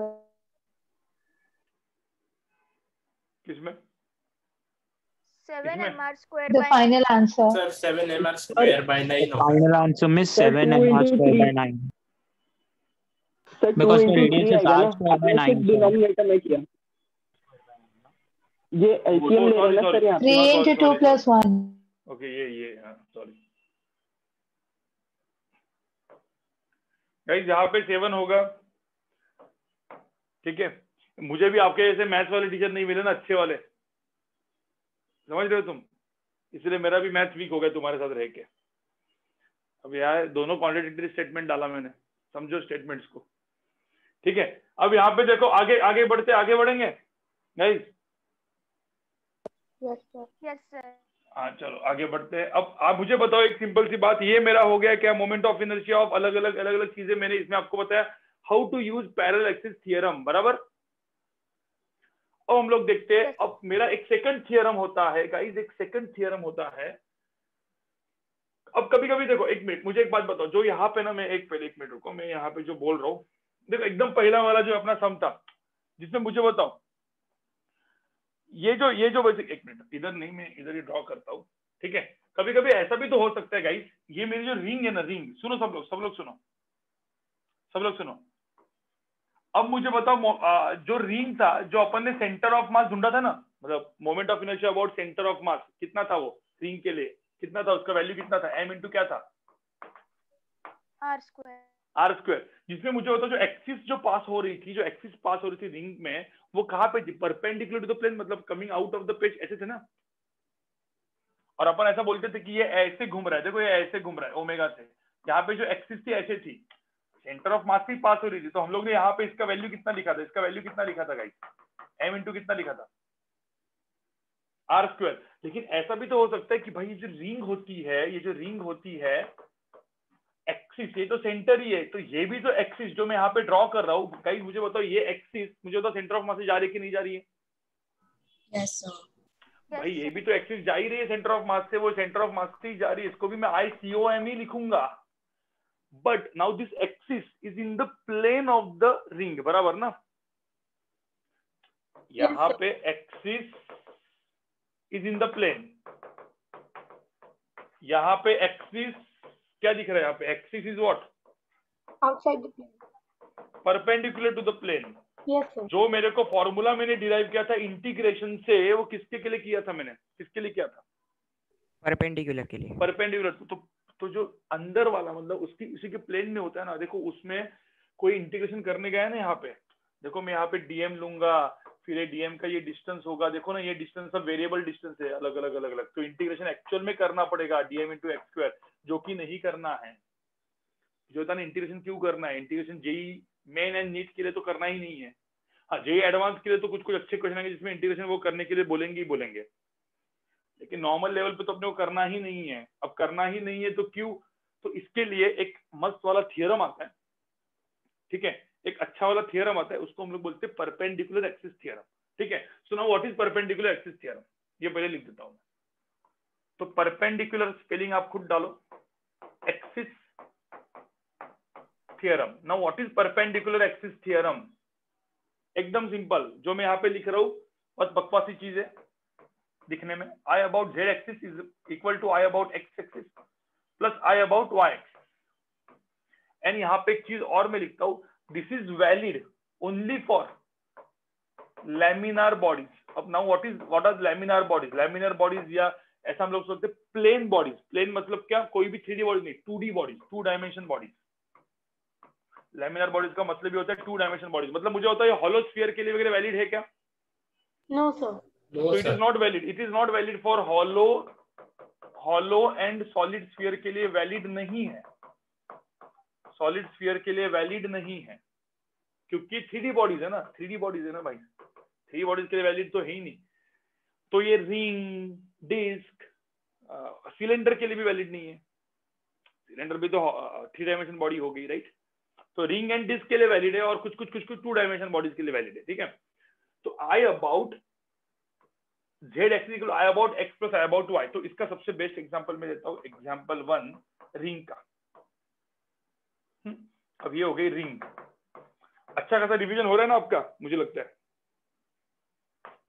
Mass M radius R ring है। अब मैं क्या कर रहा हूँ? इस रिंग को घुमा रहा हूँ ऐसे अब मुझे बताओ ये ये सपोज़ मैंने एक्स एंड वाई एक्सिस बोली तो मुझे बताओ इसको सपोज़ मैंने ऐसे घुमाया इसी प्लेन में। नाउ नाउ ये जो ये जो ना ये वाली जो एक्सिस है it is it is in the in the plane तो ऐसे ऐसे घूम रही है। मतलब थोड़ा सा इमेजिन करो रिंग कैसे घूम रही होगी। Uh, एक मिनट यहाँ पे देखो। वीडियो को डबल टैप करो वीडियो को डबल टैप करो गाइस यहाँ पे देखो वीडियो को डबल टैप करके यहाँ पे देखो। ये जो रिंग है ना देखो इस रिंग को दो तीन तरीके से घुमा सकते एक ऐसे ऐसे। ठीक है यहाँ पे यहाँ पे देखो इस, इसको ऐसे ऐसे घूम रहा है। अब ये ऐसे ऐसे घूम रहा है देखो ऐसे ऐसे घूम रहा है। ठीक है अब वही रिंग कैसे घूम सकती है? ऐसे भी घूम सकती है। देखो ये अब ये जो एक्सिस ऐसे घूमेगी ना तो ये जो एक्सिस हो गई it is in the plane हो गई देखो ऐसे। तो रिंग ऐसे भी घूम सकती है और ये रिंग ऐसे भी घूम सकती है। समझ में आ रहा है? ऐसे भी घूमेगी। तो ये ये जो होता है ना, ये इसको बोलते इन द प्लेन और जो ऐसा घूम रहा है, देखो ऐसा। वो ऐसे परपेंडिकुलर टू द प्लेन समझ में आ रहा है? तो ये चीज़ समझना ज़रूरी है आपको। ठीक है? अब ये रिंग इन द प्लेन है तो मुझे बताओ, ये एक्सिस मानो। या ये वाली एक्सिस मानो। मुझे बताओ, ये आई अबाउट एक्स एक्सिस हो गया। ये मुझे बताओ आई अबाउट वाई एक्सिस हो गया। अब मुझे एक बात बताओ आई अबाउट एक्स ऐसे घुमाओ या ऐसे घुमाओ? डिस्ट्रीब्यूशन मास का देखो सेम ही दिख रहा है आपको। भाई, इस रिंग को ऐसे घुमाओ या ऐसे घुमाओ। तो भाई रिंग तो सिमेट्रिक होती है ना। तो मुझे बताओ I about X and I about Y दोनों क्या होने चाहिए गाइस दोनों क्या होने चाहिए? इक्वल इक्वल और ये सब एक्सिस कहाँ से पास हो रही है guys? ये सब एक्सिस कहाँ से पास हो रही है? सेंटर से। तो ये I about centre of mass ही है। एक चीज़ ध्यान में रखना ये जो चीज़ है ना ये मैं लिख रहा हूँ I about X axis which is passing through centre of mass I about Y axis passing through centre of mass everything is passing through centre of mass यहाँ पे भी जो जेड एक्सिस है जेड एक्सिस वो कहाँ पे गई? Z axis कहाँ पे? Perpendicular I about Z axis again passing through centre of mass मुझे बताओ मुझे किसका फॉर्मूला पता था? मुझे आई एक्स का फॉर्मूला पता है? आई वाई का या आई जेड का? आई जेड का। आई जेड का। जो मैंने डेरिवेशन से किया छह फॉर्मूले मैंने आपको याद रखने के लिए बोले थे छह फॉर्मूले उसमें मुझे रिंग में आई जेड का पता था। मेरा आई जेड का जो वैल्यू है वो मुझे गिवन है। मतलब गिवन मतलब निकाला है मैंने वो लेकिन याद रखा है मैंने एम आर स्क्वायर फिर मैंने परपेंडिकुलर एक्सिस थ्योरम लगाया I about X plus I about Y is equal to I about Z मुझे एक चीज़ पता चल गई गाइस इधर से कि I X is equal to I Y because of what because of what symmetry symmetry के वजह से I X equal to I Y है। तो मैं I X and I Y equal है तो मैं यहाँ पे इसको इक्वेशन नंबर वन को क्या लिखूँगा? I X equal to I Y तो I X plus I X मतलब two I X is equal to I Z हो जाएगा। तो मुझे बताओ आई एक्स की वैल्यू क्या हो जाएगी? I Z divide by two what is I Z what is I Z I Z की वैल्यू कितनी थी? एम आर स्क्वायर तो मुझे बेसिकली मुझे मिल गया आई एक्स की वैल्यू क्या मिल गई? M R square by two समझ में आ रहा है कि नहीं समझ में आ रहा है? बताओ ये चीज़ मैंने बोला। समझ में आ रहा है सर। परपेंडिकुलर एक्सिस थ्योरम समझ में आया। अभी तो याद रखो याद रखो जेईएन नीट के लिए जेई मेन एंड नीट हाँ बोलो। बोलो बोलो गाइस कोई बोल रहा था? सर करके कुछ बोल रहा था। सर ऐसा कोई केस रहेगा क्या जिसके अंदर वो सेंटर से नहीं पास हो रहा है लेकिन सेंटर से थोड़ा दूर पास हो से पास हो रहा है करके? देखो परपेंडिकुलर एक्सिस तो वैलिड होगा। परपेंडिकुलर एक्सिस तो वैलिड होगा कोई अपन ने कोई ए पॉइंट से भी लिया तो भी परपेंडिकुलर एक्सिस वैलिड होगा लेकिन वहाँ पे सिमेट्री होगी क्या? I X and I Y को जो इक्वल किया है वो इक्वल होगा क्या फिर? हाँ तो सर वो सिचुएशन में कैसे सॉल्व करना है? तो वो सिचुएशन में ये यूज़ ही नहीं करना है इसको ना। हाँ लेकिन कुछ कुछ क्वेश्चन ऐसा बन सकता है वहाँ पे यूज़ करना पड़ेगा। सपोज़ ये क्या बोल रहा है देखो सुजय कि सपोज़ मैंने बोला कि मुझे ये ये वाली होगी आई एक्स ये वाली होगी आई वाई तो मुझे होता है इसमें I X and I Y same होगा क्या? नो जो मैंने पे ड्रॉ किया नहीं होगा तो उसमें परपेंडिकुलर एक्सिस थ्योरम का यूज़ नहीं होगा क्वेश्चन सॉल्व करने के लिए समझ में? तो इसको किस तरीके से सॉल्व करना पड़ेगा? तो इसको नहीं तो वो क्वेश्चन देंगे तब समझ में आएगा तुझे। क्योंकि तेरा जो क्वेश्चन sir. है ना वो वैलिड क्वेश्चन है लेकिन वो क्वेश्चन अभी कुछ अभी के लिए वैलिड नहीं है। ओके सर बताऊँगा क्यों? ठीक है पहले यहाँ पे देखो ये समझ में आया तुमको? इतना समझ में आया? ध्यान में रखना ये जो मैं यहाँ पे लिख रहा हूँ मैं यहाँ पे वापस एकदम सर्कल करके लिखता हूँ ये कब वैलिड होगा गाइज़ ये कब वैलिड होगा? कौन से कंडीशन में गाइज़ सिमेट्री और वो कब चीज़ है जब वो सेंटर से जा रहा है तब समझ में आ रहा है? तो हम लोग जो जो परपेंडिकुलर थ्योरम लगा रहे वो किधर लगा रहे एग्जैक्टली कहाँ पे लगा रहे गाइस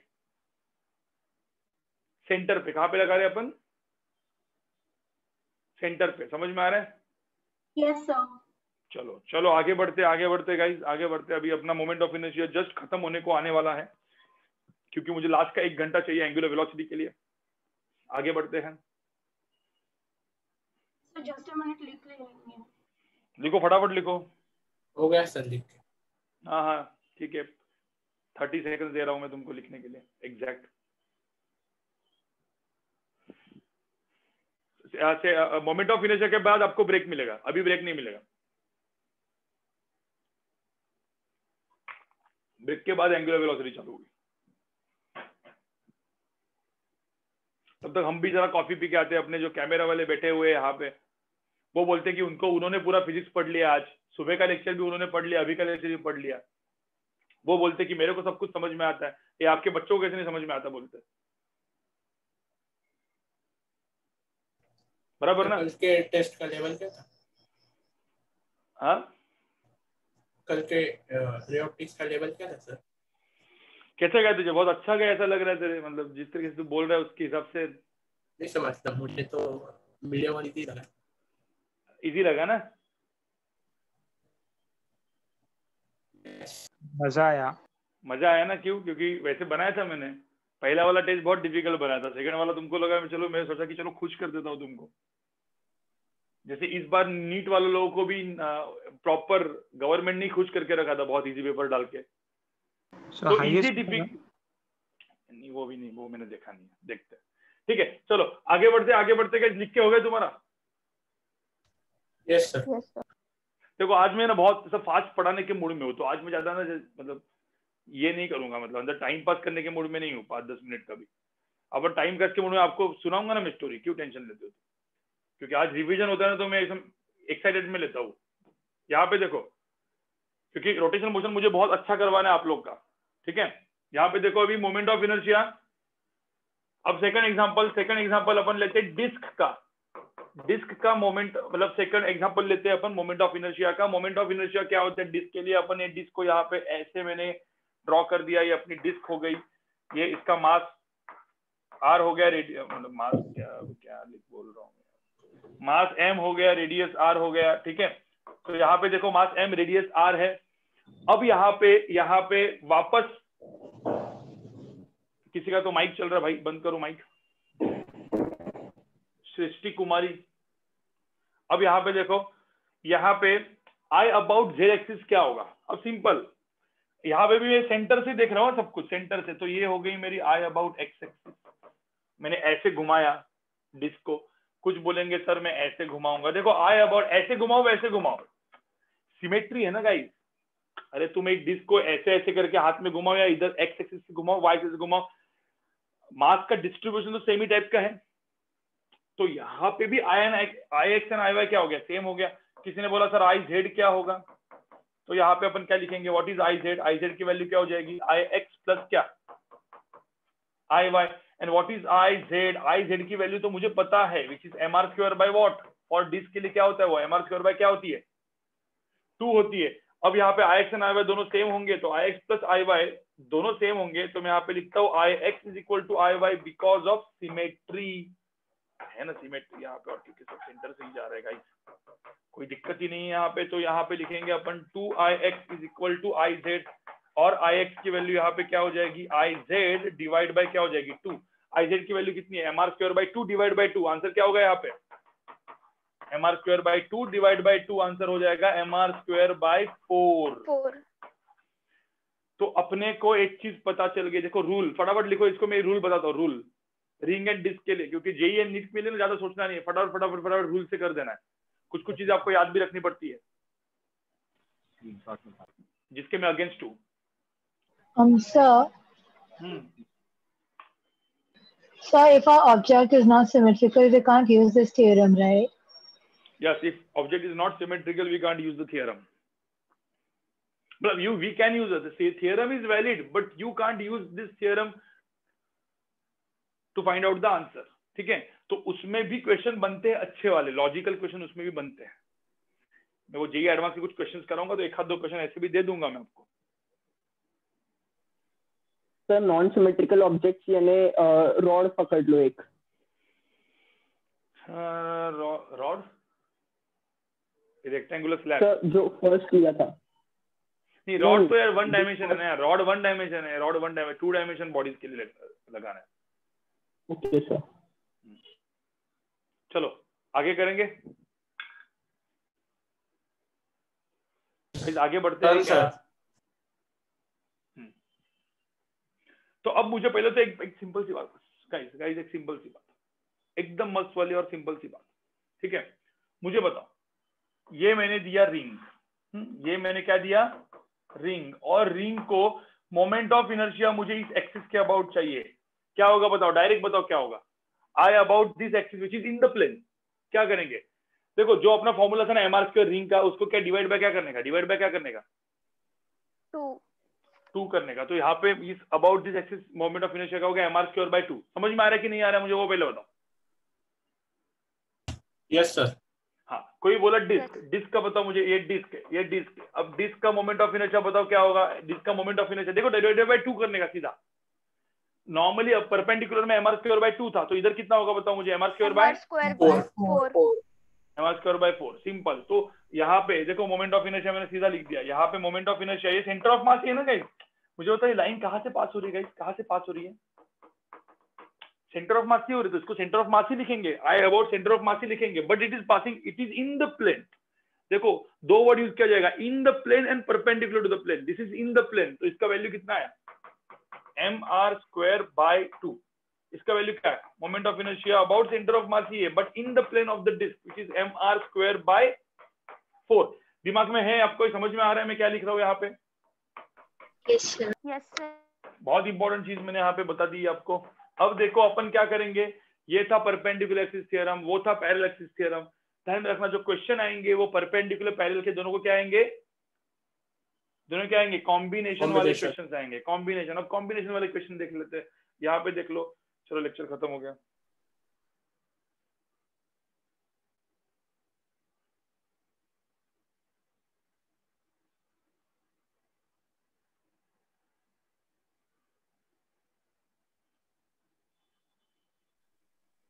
सर यानी इसका सिग्निफिकेंस सिर्फ़ दो ही टाइप के ऑब्जेक्ट्स के लिए है। बहुत टाइप के ऑब्जेक्ट के लिए है लेकिन वो क्वेश्चन वैसे वैसे बनता है। समझ में? अब ये रिवीजन चल रहा है ना तो मैं एकदम भारी वाले क्वेश्चन में यहाँ पे नहीं दिखा रहा हूँ। ठीक है? जब Okay, अगले साल अपन अगले साल भी इवन रिवीजन करेंगे ना रिवीजन तो जो लोग जेई एडवांस के लिए होंगे ना उनके लिए तो बहुत ही अलग अलग टाइप के क्वेश्चन दिखाऊँगा मैं। ठीक है? तो यहाँ पे देखो। भाई यहाँ पे देखो ये रिंग था ये डिस्क था। समझ में आ चुका है आपको। अब हम लोग लगाएँगे, भाई parallel axis theorem which is I about axis is equal to I about centre of mass plus M into D square ये था मेरा पैरेलल एक्सिस थ्योरम ये कहीं पे भी चलता है। दूसरा एक्सिस थ्योरम कौन सा था? I about Z axis is equal to I about क्या?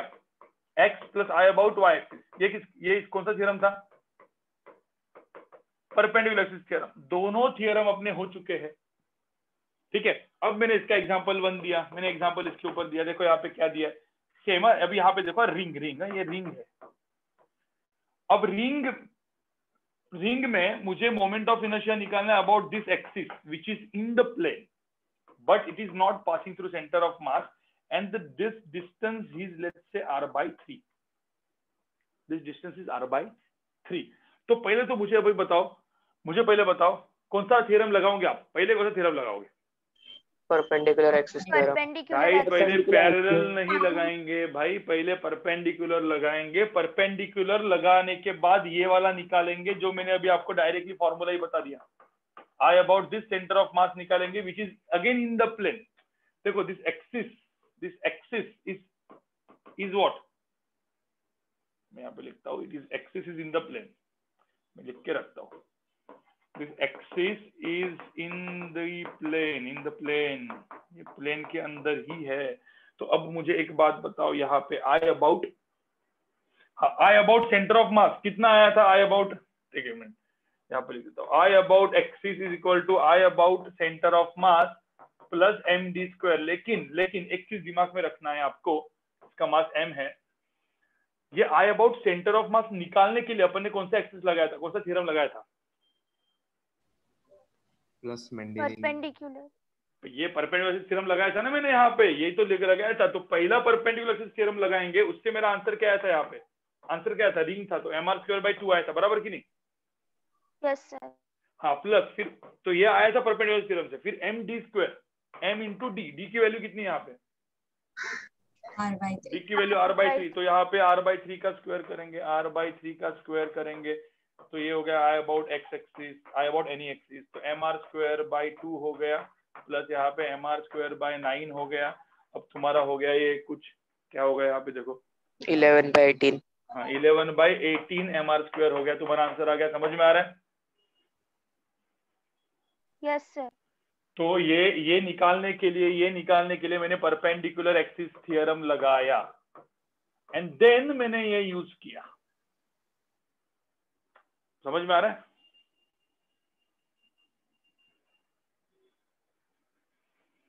गाइस समझा ठीक है तो इसको इसका इस एग्जांपल को भी फटाफट लिख दो। ठीक है तो देखा जाए तो अपना ये खत्म हुआ मैं सिर्फ़ एक्चुअली दो और चीज़ आपको बताना चाहता हूँ दो और चीज़ आपको बताना चाहता हूँ वो भी इंपॉर्टेंट है। और फिर बैच वन एंड टू का जो रोटे मोमेंट ऑफ़ इनर्शिया उसको भी आप लेक्चर को ना एकदम फास्ट फॉरवर्ड वे में देख लो। ठीक है? यहाँ पे देखो यहाँ पे देखो। उसके बाद मैं ब्रेक दूँगा ब्रेक दूँगा मैं गाइस पाँच मिनट में ब्रेक दूँगा मैं आपको। ब्रेक के पहले यहाँ पे सब सुनो सिर्फ़ आप लोग। ठीक है? सिर्फ़ लोग सुनो। आगे बढ़ू आगे बढ़ू।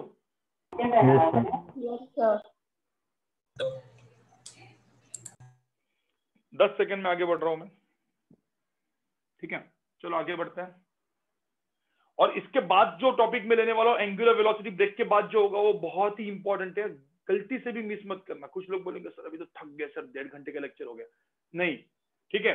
दस मिनट का बाद का जो टॉपिक है एंगुलर वेलोसिटी वो एक्चुअल में रोटेशनल मोशन में इंपॉर्टेंट टॉपिक है। जो लोग एडवांस वगैरह कर रहे थे, उनके लिए तो बहुत इंपॉर्टेंट है। जेई मैंने नीट के लिए ठीक ठाक मतलब जेई मैंने नीट में भी उसके ऊपर क्वेश्चन पूछते इसलिए मैं वो टॉपिक पढ़ाता हूँ एंगुलर वेलोसिटी पूछते जिनको अच्छा क्वेश्चन बनाना होता है तो ठीक है? मैंने बोला ना, पहले तीन लेक्चर रोटेशन मोशन की बिल्कुल मिस मत करना, कोई भी, आप किधर से भी हो। मतलब किधर से भी हो मतलब जेई वाले हो मेन वाले हो नीट वाले हो बोर्ड वाले हो। ठीक है? यहाँ पे देखो। अब मैंने आपको यहाँ पे बताया कि कैसे परपेंडिकुलर पैरेलल दोनों यूज़ किया जाता है। ठीक है? अब यहाँ पे कुछ फॉर्मूले जो दो और फॉर्मूले होते हैं, जो कि उतने ही इंपॉर्टेंट होते हैं। एक होता है भाई, एक होता है, उसको हम लोग बोलते हैं रेक्टेंगुलर स्लैब ये रेक्टेंगुलर स्लैब होती है, जिसका मास एम होता है, जिसका जैसे ये लेंथ ए हुआ और ये बी हुआ। तो अब इस रेक्टेंगुलर स्लैब अब इस रेक्टेंगुलर स्लैब में ये ऐसा सेंटर ऑफ़ मास यहाँ से एक्सिस घूम रही है। तो ये तो परपेंडिकुलर है ना तो I about this Z axis क्या हो गया? पता है आपको? आई अबाउट जेड एक्सिस इसका एक फॉर्मूला होता है एम इंटू क्या? A square plus B square divide by twelve आपको पता है, मैंने आपको एक चीज़ बताई थी कि इसका आप क्या करके आओ इसका आप क्या करके आओ? डेरिवेशन डेरिवेशन करके आपको पता है ये डेरिवेशन करने के लिए मैं आपको एक वापस हिंट देता हूँ। ये अनसिमेट्रिक चीज़ है। देखो यहाँ पे मुझे बताओ यहाँ पे क्या I about X axis and I about Y axis same है? नो सर भाई नहीं है। ए एंड बी है ना रेक्टेंगुलर प्लेट है। आप बताओ आई अबाउट एक्स एक्सिस जब निकाल के आओगे मैं आपको जस्ट यहाँ पे हिंट दे रहा हूँ आई अबाउट एक्स एक्सिस क्या होगा? तो I axis about X axis होगा M B square by twelve true करके लाना है आपको। आई अबाउट वाई एक्सिस क्या होगा? M A square by twelve Q फिर आई अबाउट मुझे बताओ, फिर आई अबाउट जेड क्या हो गया? आई अबाउट जेड क्या हो गया? I about X plus I about Y तो दोनों को अपन ऐड करेंगे तो कौन सा फॉर्मूला बनेगा? आई अबाउट जेड बताओ मुझे। एम इंटू क्या? A square plus B square by twelve यही बना गाइस समझ में आ रहा है तुमको? यस सर हम्म तो ये तो देखो ना मतलब परपेंडिकुलर एक्सिस थ्योरम वैलिड तो होता है प्लेन बॉडीज के लिए मतलब क्या? नॉर्मल ऐसे प्लेन बॉडीज के लिए। लेकिन अब ये रॉड की तरह क्यों बिहेव कर रहे हो आपको सोचना है। ये तो मुझे पता है रॉड का M B square by twelve M S square by twelve rod का मोमेंट ऑफ़ इनर्शिया होता है। क्यों सोचना है? थोड़ा सा दिमाग लगाओगे ना तो आ जाएगा थोड़ा सा दिमाग लगाओगे तो आ जाएगा। वो हॉलो नहीं है ना? हॉलो नहीं है रेक्टेंगुलर स्लैब है guys this is slab this is rectangular slab समझ में आ रहा है क्या? और इवन हॉलो भी होता तो भी नहीं चलता तो भी चलता। ठीक है? नहीं नहीं, ये का रिंग वगैरह ऐसा मत सोचो। भाई, दिमाग लगा के सोचना है इसको। ठीक है? तो ये एक फॉर्मूला आपको दिमाग में रखना है, जो काम में आएगा। तो अब इसका मुझे बताओ, ये क्या बनेगा? क्यूबॉइड बनेगा ना? क्यूबॉइड का भी क्या होगा? सेमी होगा ना भाई? रेक्टेंगुलर स्लैब का उतना है तो क्यूबॉइड का भी आंसर क्या होगा? क्यूबॉइड का भी आंसर क्या होगा? सेमी टाइप का होगा। ठीक है? चलो गाइस ये लिखो ये लिखो। हो गया ये मेरे वैसे भी लेक्चर नंबर वन में है मोमेंट ऑफ़ इनर्शिया के और एक मिनट आपको एक सिंपल और चीज़ दी थी। कौन सी वाली दी थी बताओ मुझे? एक मिनट पीछे करो ना स्क्रीनशॉट हाँ ले लो स्क्रीनशॉट ले लो।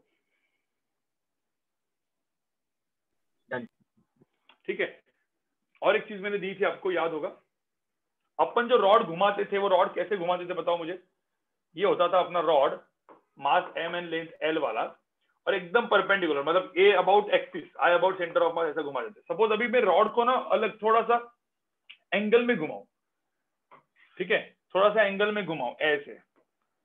याद एक फॉर्मूला बनाया था एंगल थीटा है? यस सर और ऐसे घुमाऊँगा मैं mass M and length L को। तो यहाँ पे I about this centre of mass होता था क्या होता था? M L square by twelve sine square theta sine square theta जिसमें मुझे पता है यहाँ पे थीटा की वैल्यू 90 है तो थीटा की वैल्यू 90 होगी तो साइन 91 हो जाएगा तो यहाँ पे I about centre of mass क्या बन जाएगा? एम एल स्क्वायर बाई क्या बन जाएगा? 12 और इसका मैंने आपको प्रूफ भी बताया था आपको याद होगा उस लेक्चर में प्रूफ भी है राइट है कि नहीं है वो प्रूफ यस यस सर है प्रूफ है ठीक है? तो वो Yes, भी देख लो ये भी आपको ये दो फॉर्मूले जो है ना वो काम के होते हैं उसके फिर मेरे lecture number one and two में ना बहुत सारे सम्स दिए थे। तीन चार या पाँच एग्जांपल्स मैंने शायद से होमवर्क के लिए आपको दिए थे उसके एग्जांपल्स उसके क्वेश्चन सॉल्व किए थे राइट वो भी आप फटाफट आप खुद कर लोगे। वीडियो देख के वो सारे के सारे एग्जाम्पल्स जो है ना वो आप खुद कर लोगे क्योंकि ये तो मैंने रिवीजन कर लिया। एग्ज़ाम्पल सॉल्व करना जो होता है अभी बेसिक रिविजन हो गया ना तो जो एग्ज़ाम्पल मैंने बैच वन एंड टू की जो लेक्चर में किए थे वो एग्जाम्पल्स को वापस आपको वापस सॉल्व करना है अपने खुद से। ठीक है? यस सर और इधर अपन एक छोटा सा ब्रेक ले लेंगे। कितना टाइम हुआ अभी? 442 तो 440 हुआ है। 442 मत करो 440 हुआ है। तो 440 से अपन कितना ब्रेक लेंगे? 4 फिफ्टी। 50 ठीक है? चलो। सर इसके बाद वाला स्क्रीन दिखाओ ना हाँ इसके बाद वाला स्क्रीन दिखा लेते लेकिन ब्रेक अपना 450 तक है। फटाफट आ जाओ। चलो। बाय गाइस तब तक के लिए।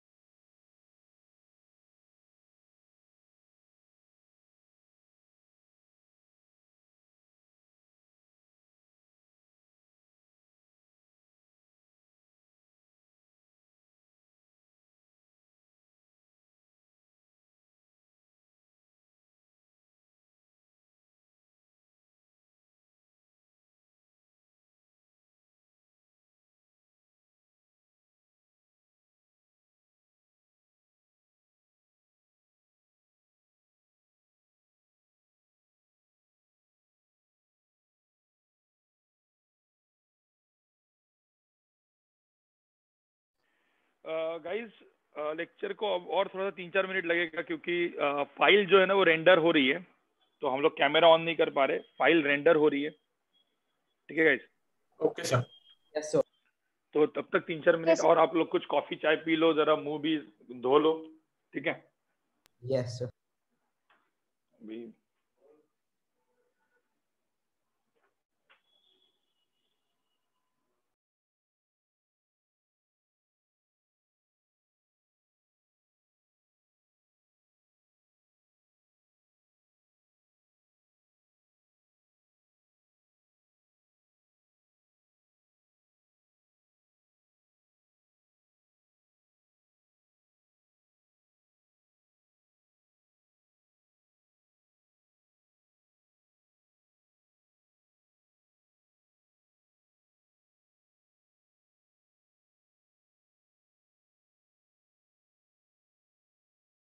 चलो गाइस हो गया रेंडर हो चुका है।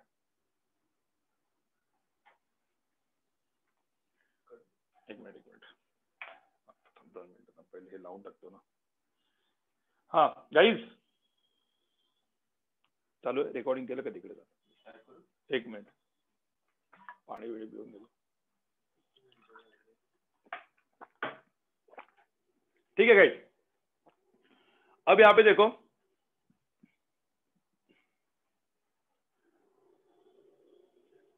हे हे हे लाईट ही लाईट स्क्रीनवरती येते इधर लाइट दिख रहा है ना आपको? स्क्रीन पे आ रहा है ना? Yes sir yes sir yes sir चालू कर। हे टाकावं लागेल ना मागे।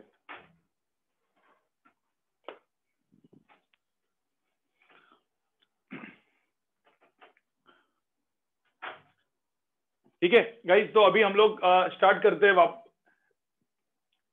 अपन ने अभी, हम लोग ने अभी क्या पढ़ लिया? मोमेंट ऑफ़ इनर्शिया क्या होता है, पढ़ लिया। Right right? अब मोमेंट ऑफ़ इनर्शिया के बाद एक टर्म आता है, जैसे मैंने आपको बोला था। जैसे देखो torque is equal to I alpha इसमें what is moment of inertia how to calculate moment of inertia and how it depends upon what distribution of masses सब पढ़ लिया अपन ने। Distributed mass continuous mass parallel axis theorem perpendicular theorem दोनों combination ये, वो सब हो गया राइट और कुछ क्वेश्चन जो आपको बैच वन एंड टू के रोटेशन मोशन के वीडियो से देखने हैं। कुछ क्वेश्चन सॉल्व करने के लिए राइट अब हम लोग अगले लेक्चर में तो ये इक्वेशन देखेंगे टॉर्क कैसे कैलकुलेट करते हैं अल्फ़ा क्या होता है, ये सब कुछ देखेंगे ही, और वो सर्कुलर मोशन में भी आपने देखा हुआ है। लेकिन आज का जो टॉपिक है, अभी का जो टॉपिक है, अभी जो हम लोग पढ़ाने वाले वो है एंगुलर वेलोसिटी ठीक है? क्योंकि एंगुलर वेलोसिटी को कुछ लोग सर्कुलर मोशन में पढ़ाते हैं कुछ लोग रोटेशनल मोशन में पढ़ाते। हैं मैं दूसरे टाइप का आदमी हूँ, जो रोटेशनल मोशन में पढ़ाता है, ठीक है? तो ये हो गया मेरा एंगुलर वेलोसिटी तो यहाँ पे एंगुलर वेलोसिटी जो होता है, वो क्या होता है? एंगुलर वेलोसिटी को हम लोग जो टर्म लिखते हैं, वो लिखते हैं ओमेगा और ये भी एक वेक्टर ही होता है। ठीक है? अब मैं थोड़ा सर्कुलर मोशन वाला पहले टर्म डिस्कस करता हूँ। सर्कुलर मोशन में, ठीक है? अब सर्कुलर मोशन का जो टर्म था, वो क्या है? एक मिनट तो सर्कुलर मोशन में अपन, आपको पता होगा कि कोई भी पॉइंट मतलब ये सपोज़ सेंटर है एक आ, आ, कोई भी चीज़ ऐसे सर्कुलर मोशन करती है मतलब ए पॉइंट से बी पॉइंट पे ये एक गाड़ी है ऐसे ट्रेवल करे जा रही है सर्कुलर मोशन में घूमे जा रही है ऐसे घूमे जा रही है। तो जो सर्कुलर मोशन में जब घूमता है तो ये एंगल रोटेट करता है ठीक है? अब आपको पता है इस एंगल को हम लोग क्या बोलते हैं क्या बोलते हैं हम लोग? एंगुलर इस एंगल को हम लोग क्या बोलते हैं? एंगुलर डिस्प्लेसमेंट एंगुलर डिस्प्लेसमेंट और direction mute mute angular displacement ये डायरेक्शन डिफाइन करने के लिए अपन क्या करते हैं? राइट हैंड थंब रूल ऐसा, जिस डायरेक्शन में, जैसे ये एंटी क्लॉकवाइज है तो एंटी क्लॉकवाइज में फिंगर्स घुमाओ थंब मेरे को देगा एंगुलर डिस्प्लेसमेंट का डायरेक्शन तो इस केस में जो एंगुलर डिस्प्लेसमेंट होती है it is out of the plane right तो अब मुझे होता है एंगुलर डिस्प्लेसमेंट उसके बाद हम लोग ने एंगुलर वेलोसिटी बताया था. एंगुलर वेलोसिटी दो टाइप की एंगुलर वेलोसिटी अपन ने डिफाइन की थी. एक होती है average angular velocity which is delta theta by delta T और एक होती है इंस्टेंटेनियस एंगुलर वेलोसिटी जो इस इंस्टेंट के लिए होगी which is equal to D theta by D T जो वेक्टर जो है, ये वेक्टर सिंबल में सिर्फ़ इसको यूज़ करूँगा, आपको पता है? अब तुमको एक सिंपल सी बात मुझे बताओ कि वेरी स्मॉल एंगल अब इस एंगल को मैं वेक्टर लेता हूँ and that angle the vector is perpendicular to the plane of rotation जैसे यहाँ पे ये रोटेट ऐसा कर रहा है सपोज़ एंगल डी थीटा होगा, ये ऐसे रोटेट कर रहा है तो ये डी थीटा एंगल कहाँ पे होगा? It is coming out of the page देखो ना, ऐसे ना, अरे फिंगर्स घुमाओ ना डी के डायरेक्शन में, क्योंकि ये क्या एंटी क्लॉकवाइज है। थम कहाँ पे आ रहा है? आउट ऑफ़ द पेज तो थम देगा मुझे एंगुलर डिस्प्लेसमेंट का direction which is out of the page out of the page मतलब यहाँ पे डॉट होगा तो ये होगा मेरा D theta vector which is coming out of the page अब जिस डायरेक्शन में डी थीटा होगा, उसी डायरेक्शन में क्या होगा? जिस डायरेक्शन में डी थीटा होगा, उसी डायरेक्शन में क्या होगा? एंगुलर वेलोसिटी होगा। तो एंगुलर वेलोसिटी का डायरेक्शन भी क्या होगा? Coming out of the page तो गाइस ध्यान में रखना, जब मैं ना ऐसा लिखता हूँ सुनो, ये ये जनरल नोटेशंस है, ठीक है? जनरली जनरली मतलब कोई भी सपोज़ एक एक पार्टिकल ऐसे घूम रहा होगा तो हम लोग ऐसा लिखते हैं, देखो ओमेगा ये सेंस होता है दिस इज़ कॉल्ड सेंस इसका मतलब एंगुलर वेलोसिटी ऐसा कुछ, ऐसा एंगुलर वेलोसिटी का डायरेक्शन ऐसा नहीं है। एंगुलर वेलोसिटी का डायरेक्शन कहाँ पे? Right hand thumb rule use करो it is out of the page जब मैं ऐसा लिखता हूँ तो मुझे होता है एंगुलर वेलोसिटी कहाँ पे होगा? एंगुलर वेलोसिटी किसमें कहाँ पे होगा? Inside the page. Inside the page तो यहाँ पे मैं एंगुलर वेलोसिटी क्रॉस लिखता हूँ. दिस इज़ एंगुलर वेलोसिटी जो it is inside the page यहाँ पे angular velocity is coming out of the page समझ में आ रहा है? वेक्टर वेक्टोरिकली बता रहा हूँ मैं आपको. अब सिंपल सी बात मैं जैसे बोला ना एंगुलर एक्सलेशन के बारे में भी हम लोग अगले लेक्चर में देखेंगे. Torque is equal to I alpha लेकिन आपको तो पता ही है एंगुलर एक्सेलरेशन क्या होता है? वापस दो टर्म्स होंगे. एंगुलर एक्सेलरेशन क्या होता है? Average delta omega by delta T होगा वो. ठीक है? और इंस्टेंटेनियस क्या होगा अल्फ़ा इंस्टेंटेनियस क्या होगा alpha D omega by D omega by D मतलब rate of change of angular velocity तो मैंने एकदम एकदम फ़ैन का एग्जांपल दिया था जैसे अपन ने फ़ैन को स्टार्ट किया। अब फ़ैन तो अपना सीलिंग फ़ैन है ना, घूम नहीं रहा है वो। तो उसकी एंगुलर वेलोसिटी कितनी है? घूम नहीं रहा है तो ज़ीरो है। अब मैंने फ़ैन का स्पीड वन किया तो एंगुलर वेलोसिटी बढ़ने लगी बढ़ने लगी, ठीक है? तो एंगुलर वेलोसिटी ज़ीरो से कुछ हुई तो एंगुलर वेलोसिटी बढ़ रही है राइट बढ़ रही है। तो इसको हम लोग क्या बोलते हैं? Rate of change of velocity हो रही है ना एंगुलर वेलोसिटी तो उसमें क्या आ गया? एंगुलर एक्सेलरेशन आ गया। अब एक बार वो उसी कांस्टेंट स्पीड से दौड़ रहा है कांस्टेंट स्पीड से ऐसे रोटेट कर रहा है। तो इसमें एंगुलर वेलोसिटी क्या हो गई गैस एंगुलर वेलोसिटी क्या क्या हो गई? कांस्टेंट हो गई। तो एंगुलर एक्सेलेरेशन क्या हो गया? ज़ीरो हो गया। तो ये सिंपल सी मैंने ना आपको एक मतलब ये, सब तो सर्कुलर मोशन में मैंने बताया था। तो मैं एकदम फास्ट वे में आप, आपको यहाँ पे बताता हूँ पहले। ठीक है? यहाँ पे देखो। जैसे मैंने आपको एकदम सिंपल सिंपल सी बात बताई थी, मैंने दो ऐसे अलग अलग चीज़ें लिखी थी, जैसे मैंने वी को लिखा था डीएस बाई डी याद होगा आपको? वेलोसिटी होता है डिस्प्लेसमेंट अपॉन टाइम वैसे एक्सेलेशन होता है डीवी अपॉन dt, और इसको अपन और एक फॉर्म लिखा था, v dv अपॉन ds तो सिमिलरली जैसे ये दो चीज़ें होती है, यहाँ पे वेलोसिटी के जगह वेलोसिटी के जगह यहाँ पे आएगा एंगुलर वेलोसिटी ठीक है? एस के जगह आएगा डी थीटा तो ओमेगा था D theta by D T जो अपन ने अभी बताया। एंगुलर एक्सेलेशन था D omega by D T और फिर हम लोग तो वी के जगह omega D omega D theta समझ में आ रहा है कि नहीं आ रहा है?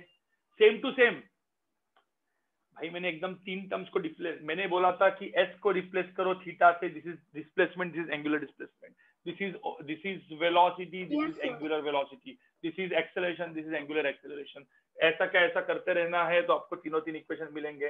फिर अपने तीनों तीन famous equation when acceleration is constant, when a is equal to constant, when acceleration is constant, इसका इंटीग्रेट एंड डेरिवेटिव वगैरह करके मेरे को तीन इक्वेशन आए थे, v is equal to U plus A T S is equal to U T plus half A T square and V square is equal to क्या? U square plus two A S समझ में आ रहा है कि नहीं आ रहा है? समझना क्या था, ये तो पता ही था तुमको। ठीक है? Similarly, when angular acceleration is constant, when alpha is equal to constant, यहाँ पे भी तीन इक्वेशन आएँगे कौन से final angular velocity is initial angular velocity plus alpha T angular displacement is initial angular velocity t plus alpha half alpha t square and omega final square is equal to omega initial square plus 2 alpha theta समझ में आ रहा है yes sir सब जगह पे क्या किया मैंने? Velocity displacement replace by theta velocity by omega and acceleration by alpha समझ में आ रहा है? बस, इतना चीज़ दिमाग में रखो, इतना चीज़ दिमाग में रखो। इसको फटाफट लिखो, चलो, इसको फटाफट लिखो। एक काम करो, इसको लिखो, पहले इसको लिखो। पंद्रह सेकंड इसको, आगे के बीस सेकंड उसको, चलो। अभी तक मैं एंगुलर वेलोसिटी के ऊपर गया ही नहीं हूँ। उसको मैं फिर एंगुलर वेलोसिटी को अभी पढ़ाऊँगा और फिर अगले लेक्चर में उसको कंटिन्यू करके आगे बढ़ूँगा।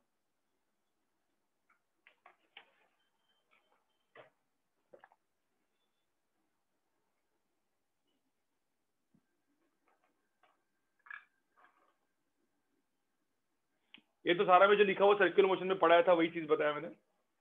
so, एक दो एग्जांपल बता दूँगा। हाँ बोलो।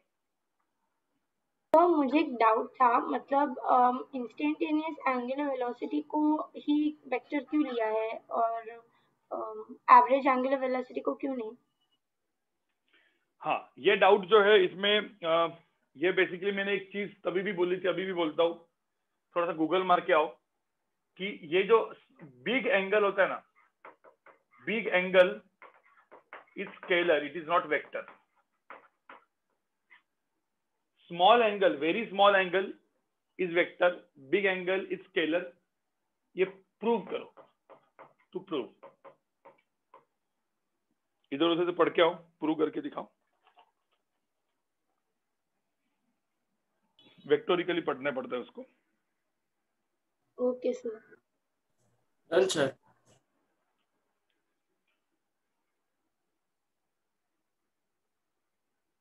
आगे इसका लिखो इसको लिखो फटाफट चलो। ट्वेंटी सेकेंड्स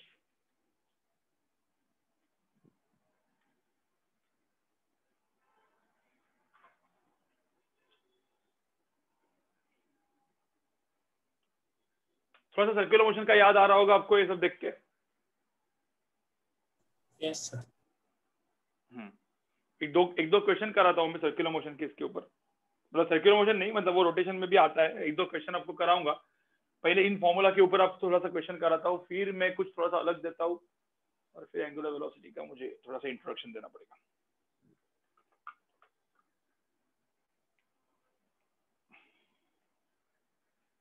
ठीक है? आगे? आगे बढ़े? One minute one minute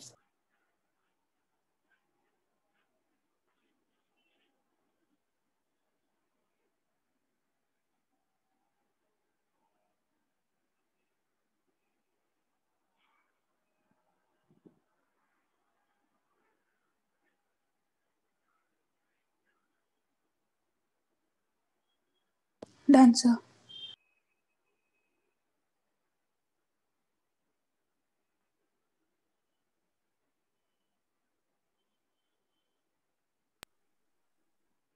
चलो, आगे बढ़ते गाइस आगे बढ़ते।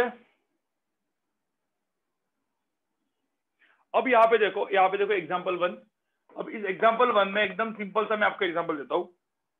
ठीक है?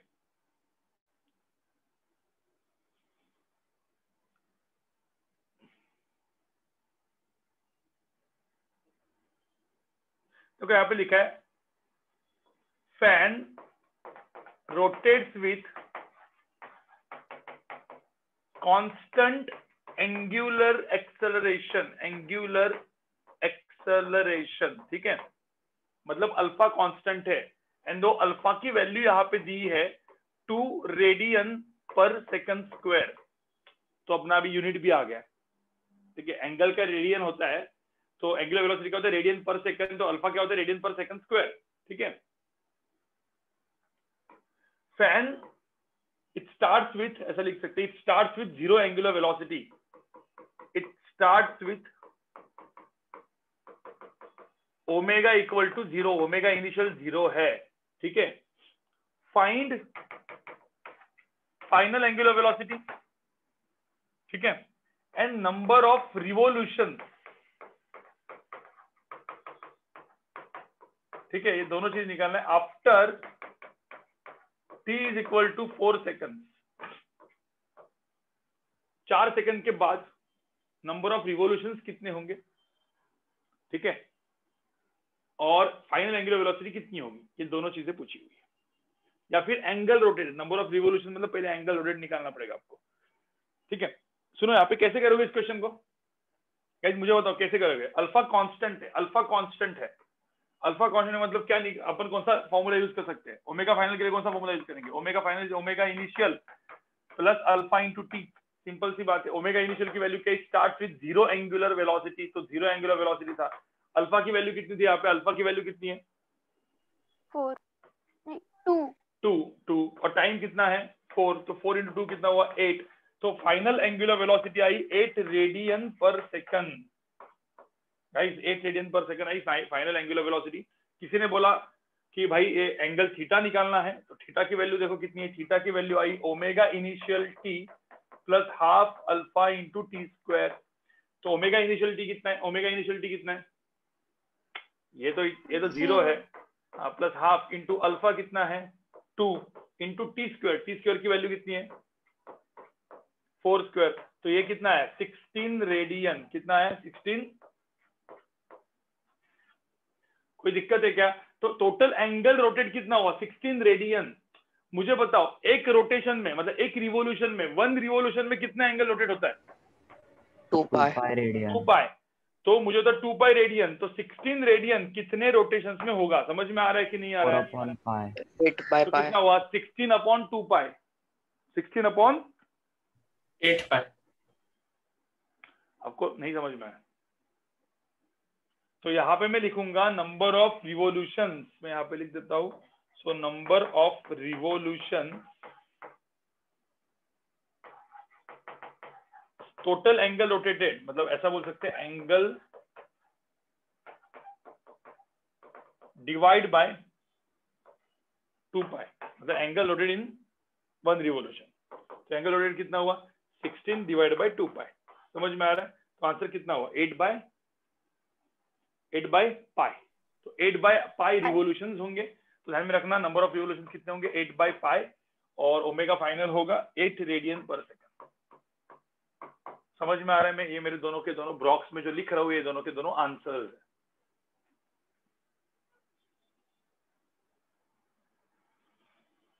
तो एक क्वेश्चन था। चलो आगे वाला क्वेश्चन दू मैं? गाइस आगे वाला क्वेश्चन दू मैं?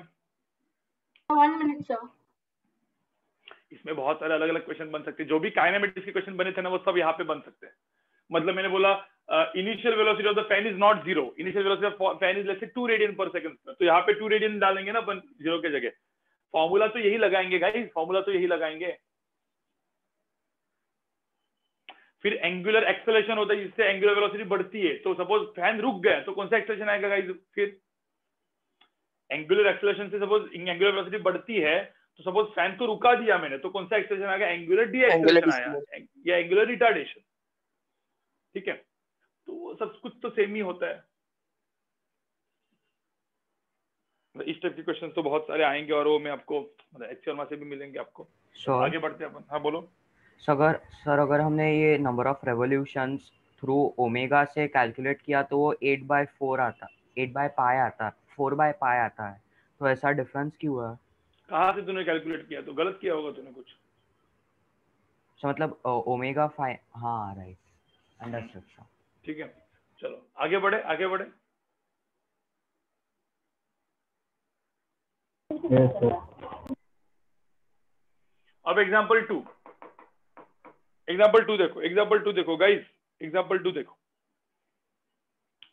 अब फ़ैन इज़ रोटेटिंग ठीक है? फ़ैन है ना वो रोटेट कर रहा है। फ़ैन इज़ रोटेटिंग ठीक है? अब फ़ैन इज़ रोटेटिंग और फ़ैन रोटेट हो रहा है, उसका एंगुलर डिस्प्लेसमेंट दिया हुआ है, सुनो यहाँ पे एंगुलर डिस्प्लेसमेंट दिया हुआ है two plus four T square plus two T देखो एंगुलर डिस्प्लेसमेंट किससे वेरी कर रहा है? टाइम के साथ साथ। तो बोला है find angular velocity omega and find alpha at time t is equal to two second तो मुझे होता है ऐसे क्वेश्चन में क्या करना पड़ेगा? मुझे होता कोई फॉर्मूला लगाना है क्या इस क्वेश्चन में ऐसे क्वेश्चन में? नो सर नहीं। Differentiate. भाई अपना डिफरेंशिएट Differentiate करना है। बस ओमेगा की वैल्यू होगी d theta by d t भाई इसको डेरिवेटिव करो। Theta by t d theta by d t क्या होगा? टू का derivative zero four t square का कितना होगा? Eight t plus two t का डेरिवेटिव कितना होगा? टू समझ में आ रहा है कि नहीं आ रहा है? इसको और एक बार डिफरेंशिएट करो। अल्फ़ा की वैल्यू क्या होगी? D omega by d t तो इसको एक बार डेरिवेटिव करो। आंसर क्या आएगा? एट तो मुझे होता ये तो directly eight radian per second square तो आ ही गया। और eight time t is equal to two में ओमेगा की वैल्यू कितनी आ जाएगी? Eight into two plus two तो सिक्सटीन प्लस टू कितना? एटीन आपको समझ में आ रहा है ये चीज़ मैंने क्या किया है? यस सर लिखो इसको लिखो इसको दस दस सेकंड में लिखो इसको।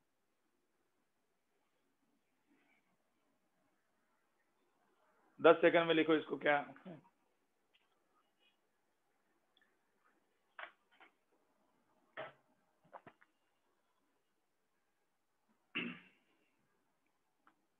ठीक है गाइज़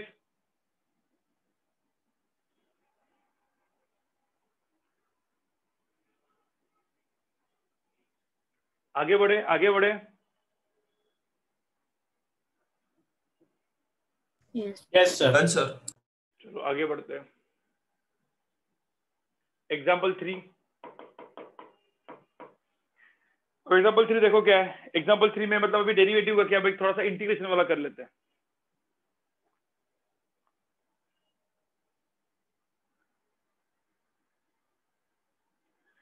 फ़ैन है, वो रोटेट कर रहा है। A fan is rotating with some angular velocity omega is equal to ऐसा लिखा है, यहाँ से, यहाँ पे ऐसा लिखा है let's say three t square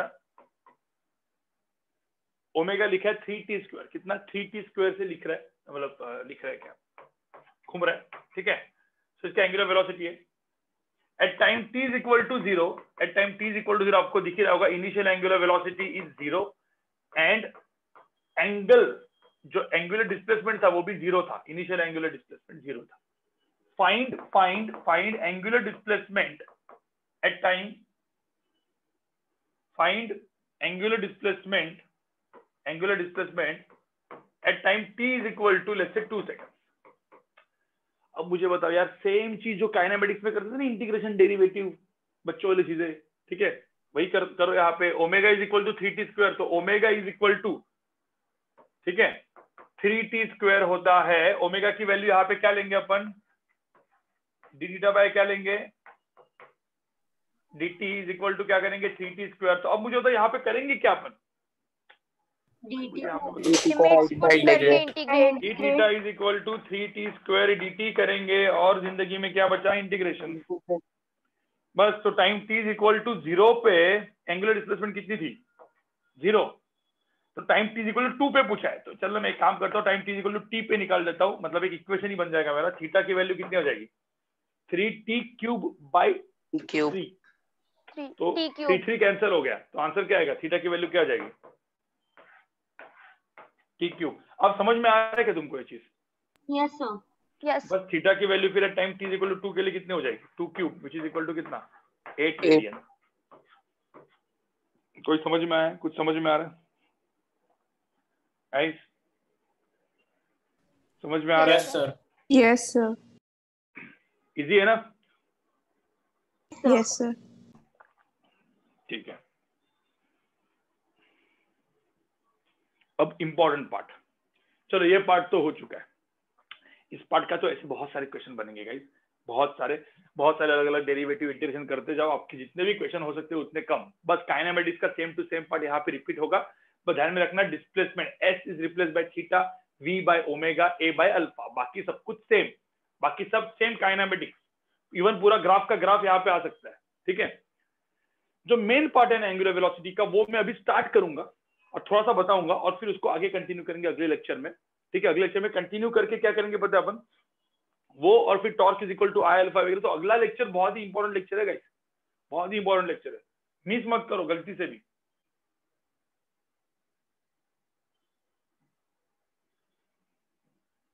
ये तो दिखा रहा है कि लेक्चर खत्म हो गया।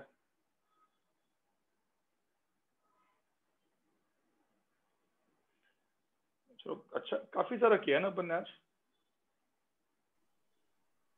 यस सर सर सब समझा आज थोड़ा सा समझ गया है ना तुम लोग को।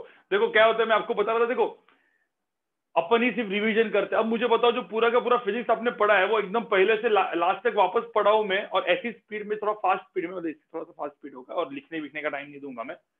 तो हर एक चीज़ जो आपको तब समझनी होगी वो समझनी चालू होगी। ऐसा होता है। गाइस और अगले साल में भी बहुत सारे लोग की तरक्की हो जाएगी ज़िंदगी में ठीक है? लेकिन वो जुलाई के बाद होगी। इसका मतलब ऐसा नहीं कि जुलाई तक आपकी तरक्की नहीं होगी वो भी आपकी होगी आपको तो मेहनत तो करनी है ठीक है? अंदर कुछ भी चीज़ छोड़नी नहीं है। छोड़ने का अगर मन किया तो भाई कॉल कर लो। ठीक है? अब यहाँ पे देखो सब लोग, यहाँ पे देखो। गाइस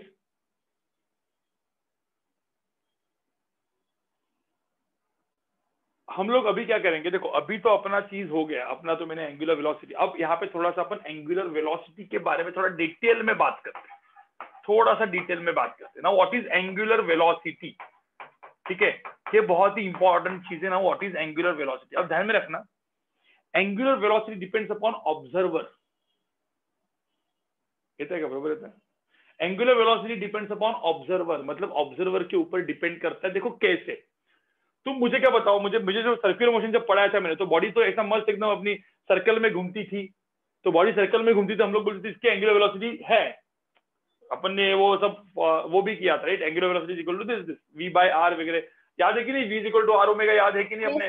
इसमें। Yes, तो ओमेगा की वैल्यू क्या थी? v बाय आर थी याद है? V बाय आर और v को v टेंजेंशियल स्पीड लिखते थे अपन। सर्कुलर मोशन में तो इतना छोटा सा अपन ने चीज़ कुछ तो किया था। ठीक है अपन इसको डिस्कस करेंगे लेकिन अभी नहीं अभी पहले यहाँ पे देखो सब लोग।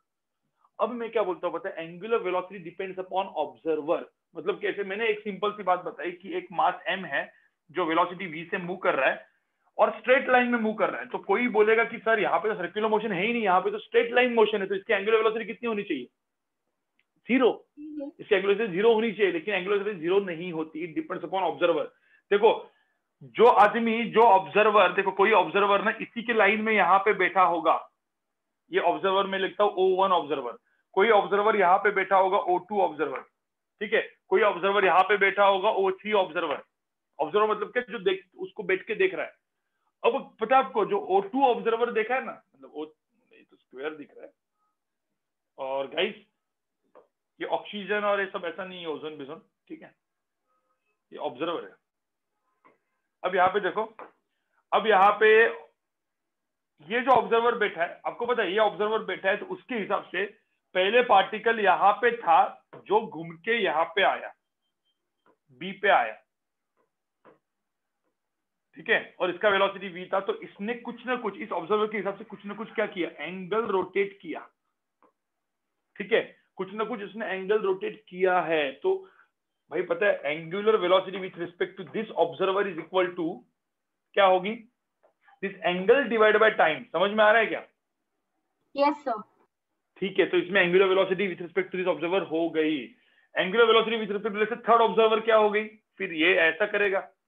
इसके हिसाब से कुछ ये एंगल हो गया सपोज़ ये डेल्टा एक काम करते हैं हम लोग, इसको डेल्टा थीटा वन लिखते हैं। और ये डेल्टा टी हो गया time angular velocity with respect to क्या है? जो ये ऊपर वाला ऑब्जर्वर अपना, उसके हिसाब से एंगुलर वेलोसिटी क्या होगी? डेल्टा थीटा सपोज़ यहाँ पे मैं टू लिख देता हूँ, यहाँ पे डेल्टा थीटा टू होगा तो यहाँ पे मैं लिख दूँगा इसको।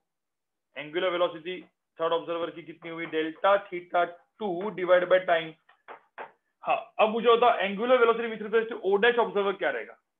ओ वन कोई एंगल रोटेट कर रहा है क्या वो? नो सर तो angular velocity with respect to क्या होगा? ज़ीरो अपॉन डेल्टा टी तो इसका आंसर कितना हो जाएगा? ज़ीरो तो उसका मैंने एक बेस्ट एग्जांपल भी आपको दिया था आपको याद होगा। एग्जांपल वन मैंने आपको यहाँ पे दिया था कि एक पार्टिकल सर्कल में घूम रहा है।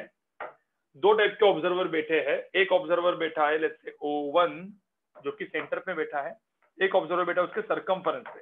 किसको देख रहा है? एक पार्टिकल जो मूव कर रहा है ए से बी पे सर्क्यूलर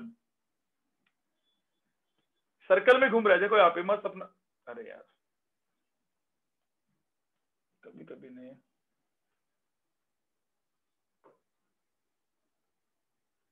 ठीक है? तो एक सरकमफरेंस पे बैठा है। काम करते इसको। रुक, रुक, निकाल देते हैं। रुको एक मिनट जरा।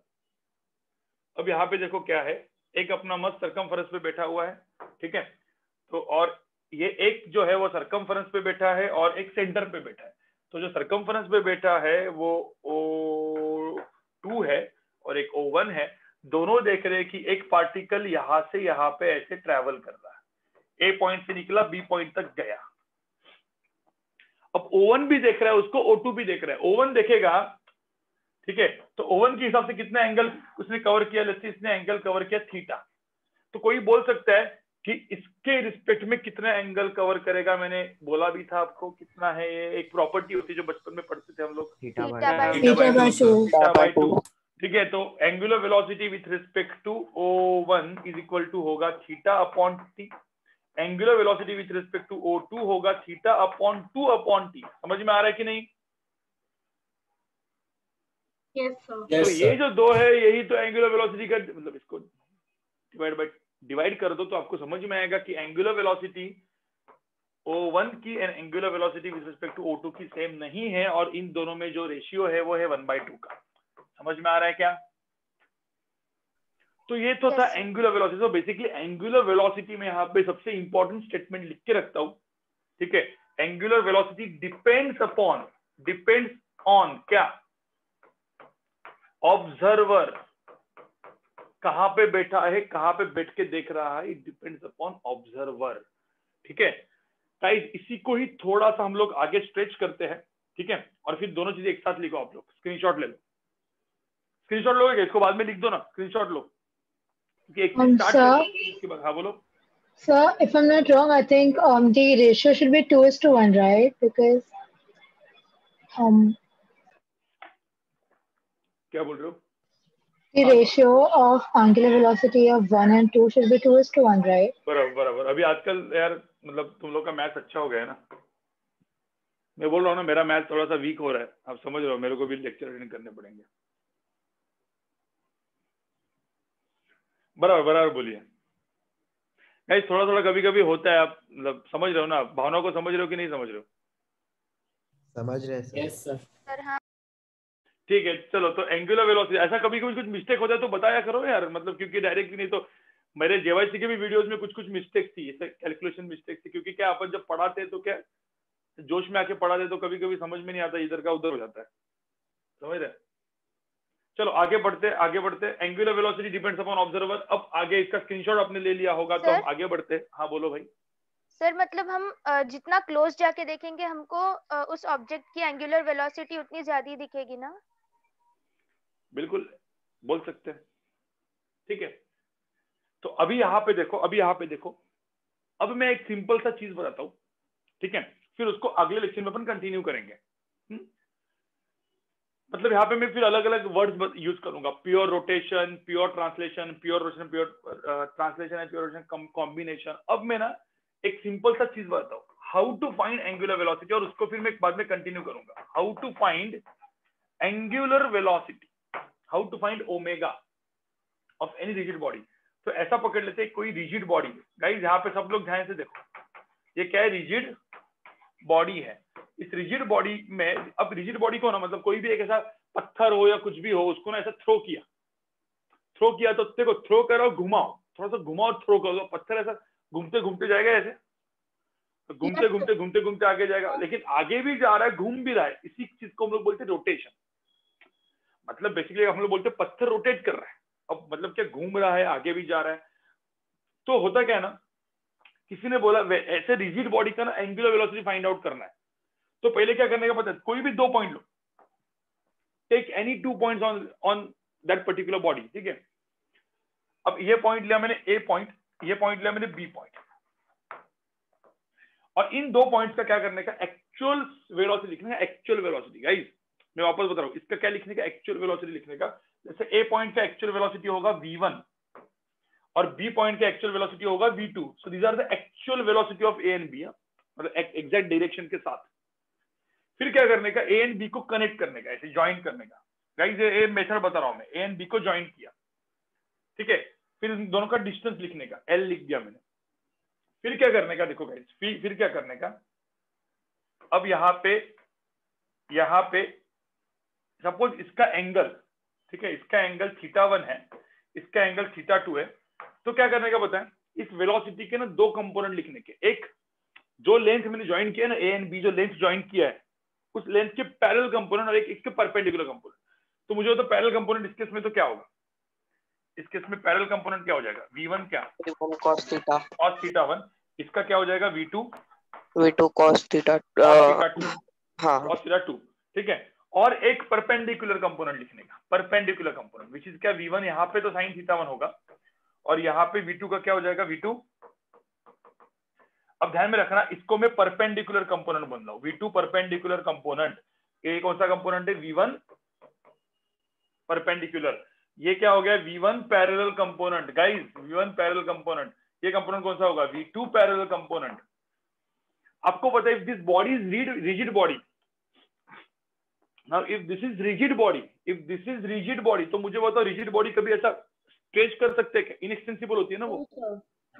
So if the body is rigid body क्योंकि देखो ना मैंने यहाँ पे लिखा है इट इज़ रिजिड बॉडी तो v1 parallel should be equal to क्या? V2 पैरेलल इससे जो बना ये क्यों? Because the body is body is what so it is not ex- in it is not extensible. ठीक है?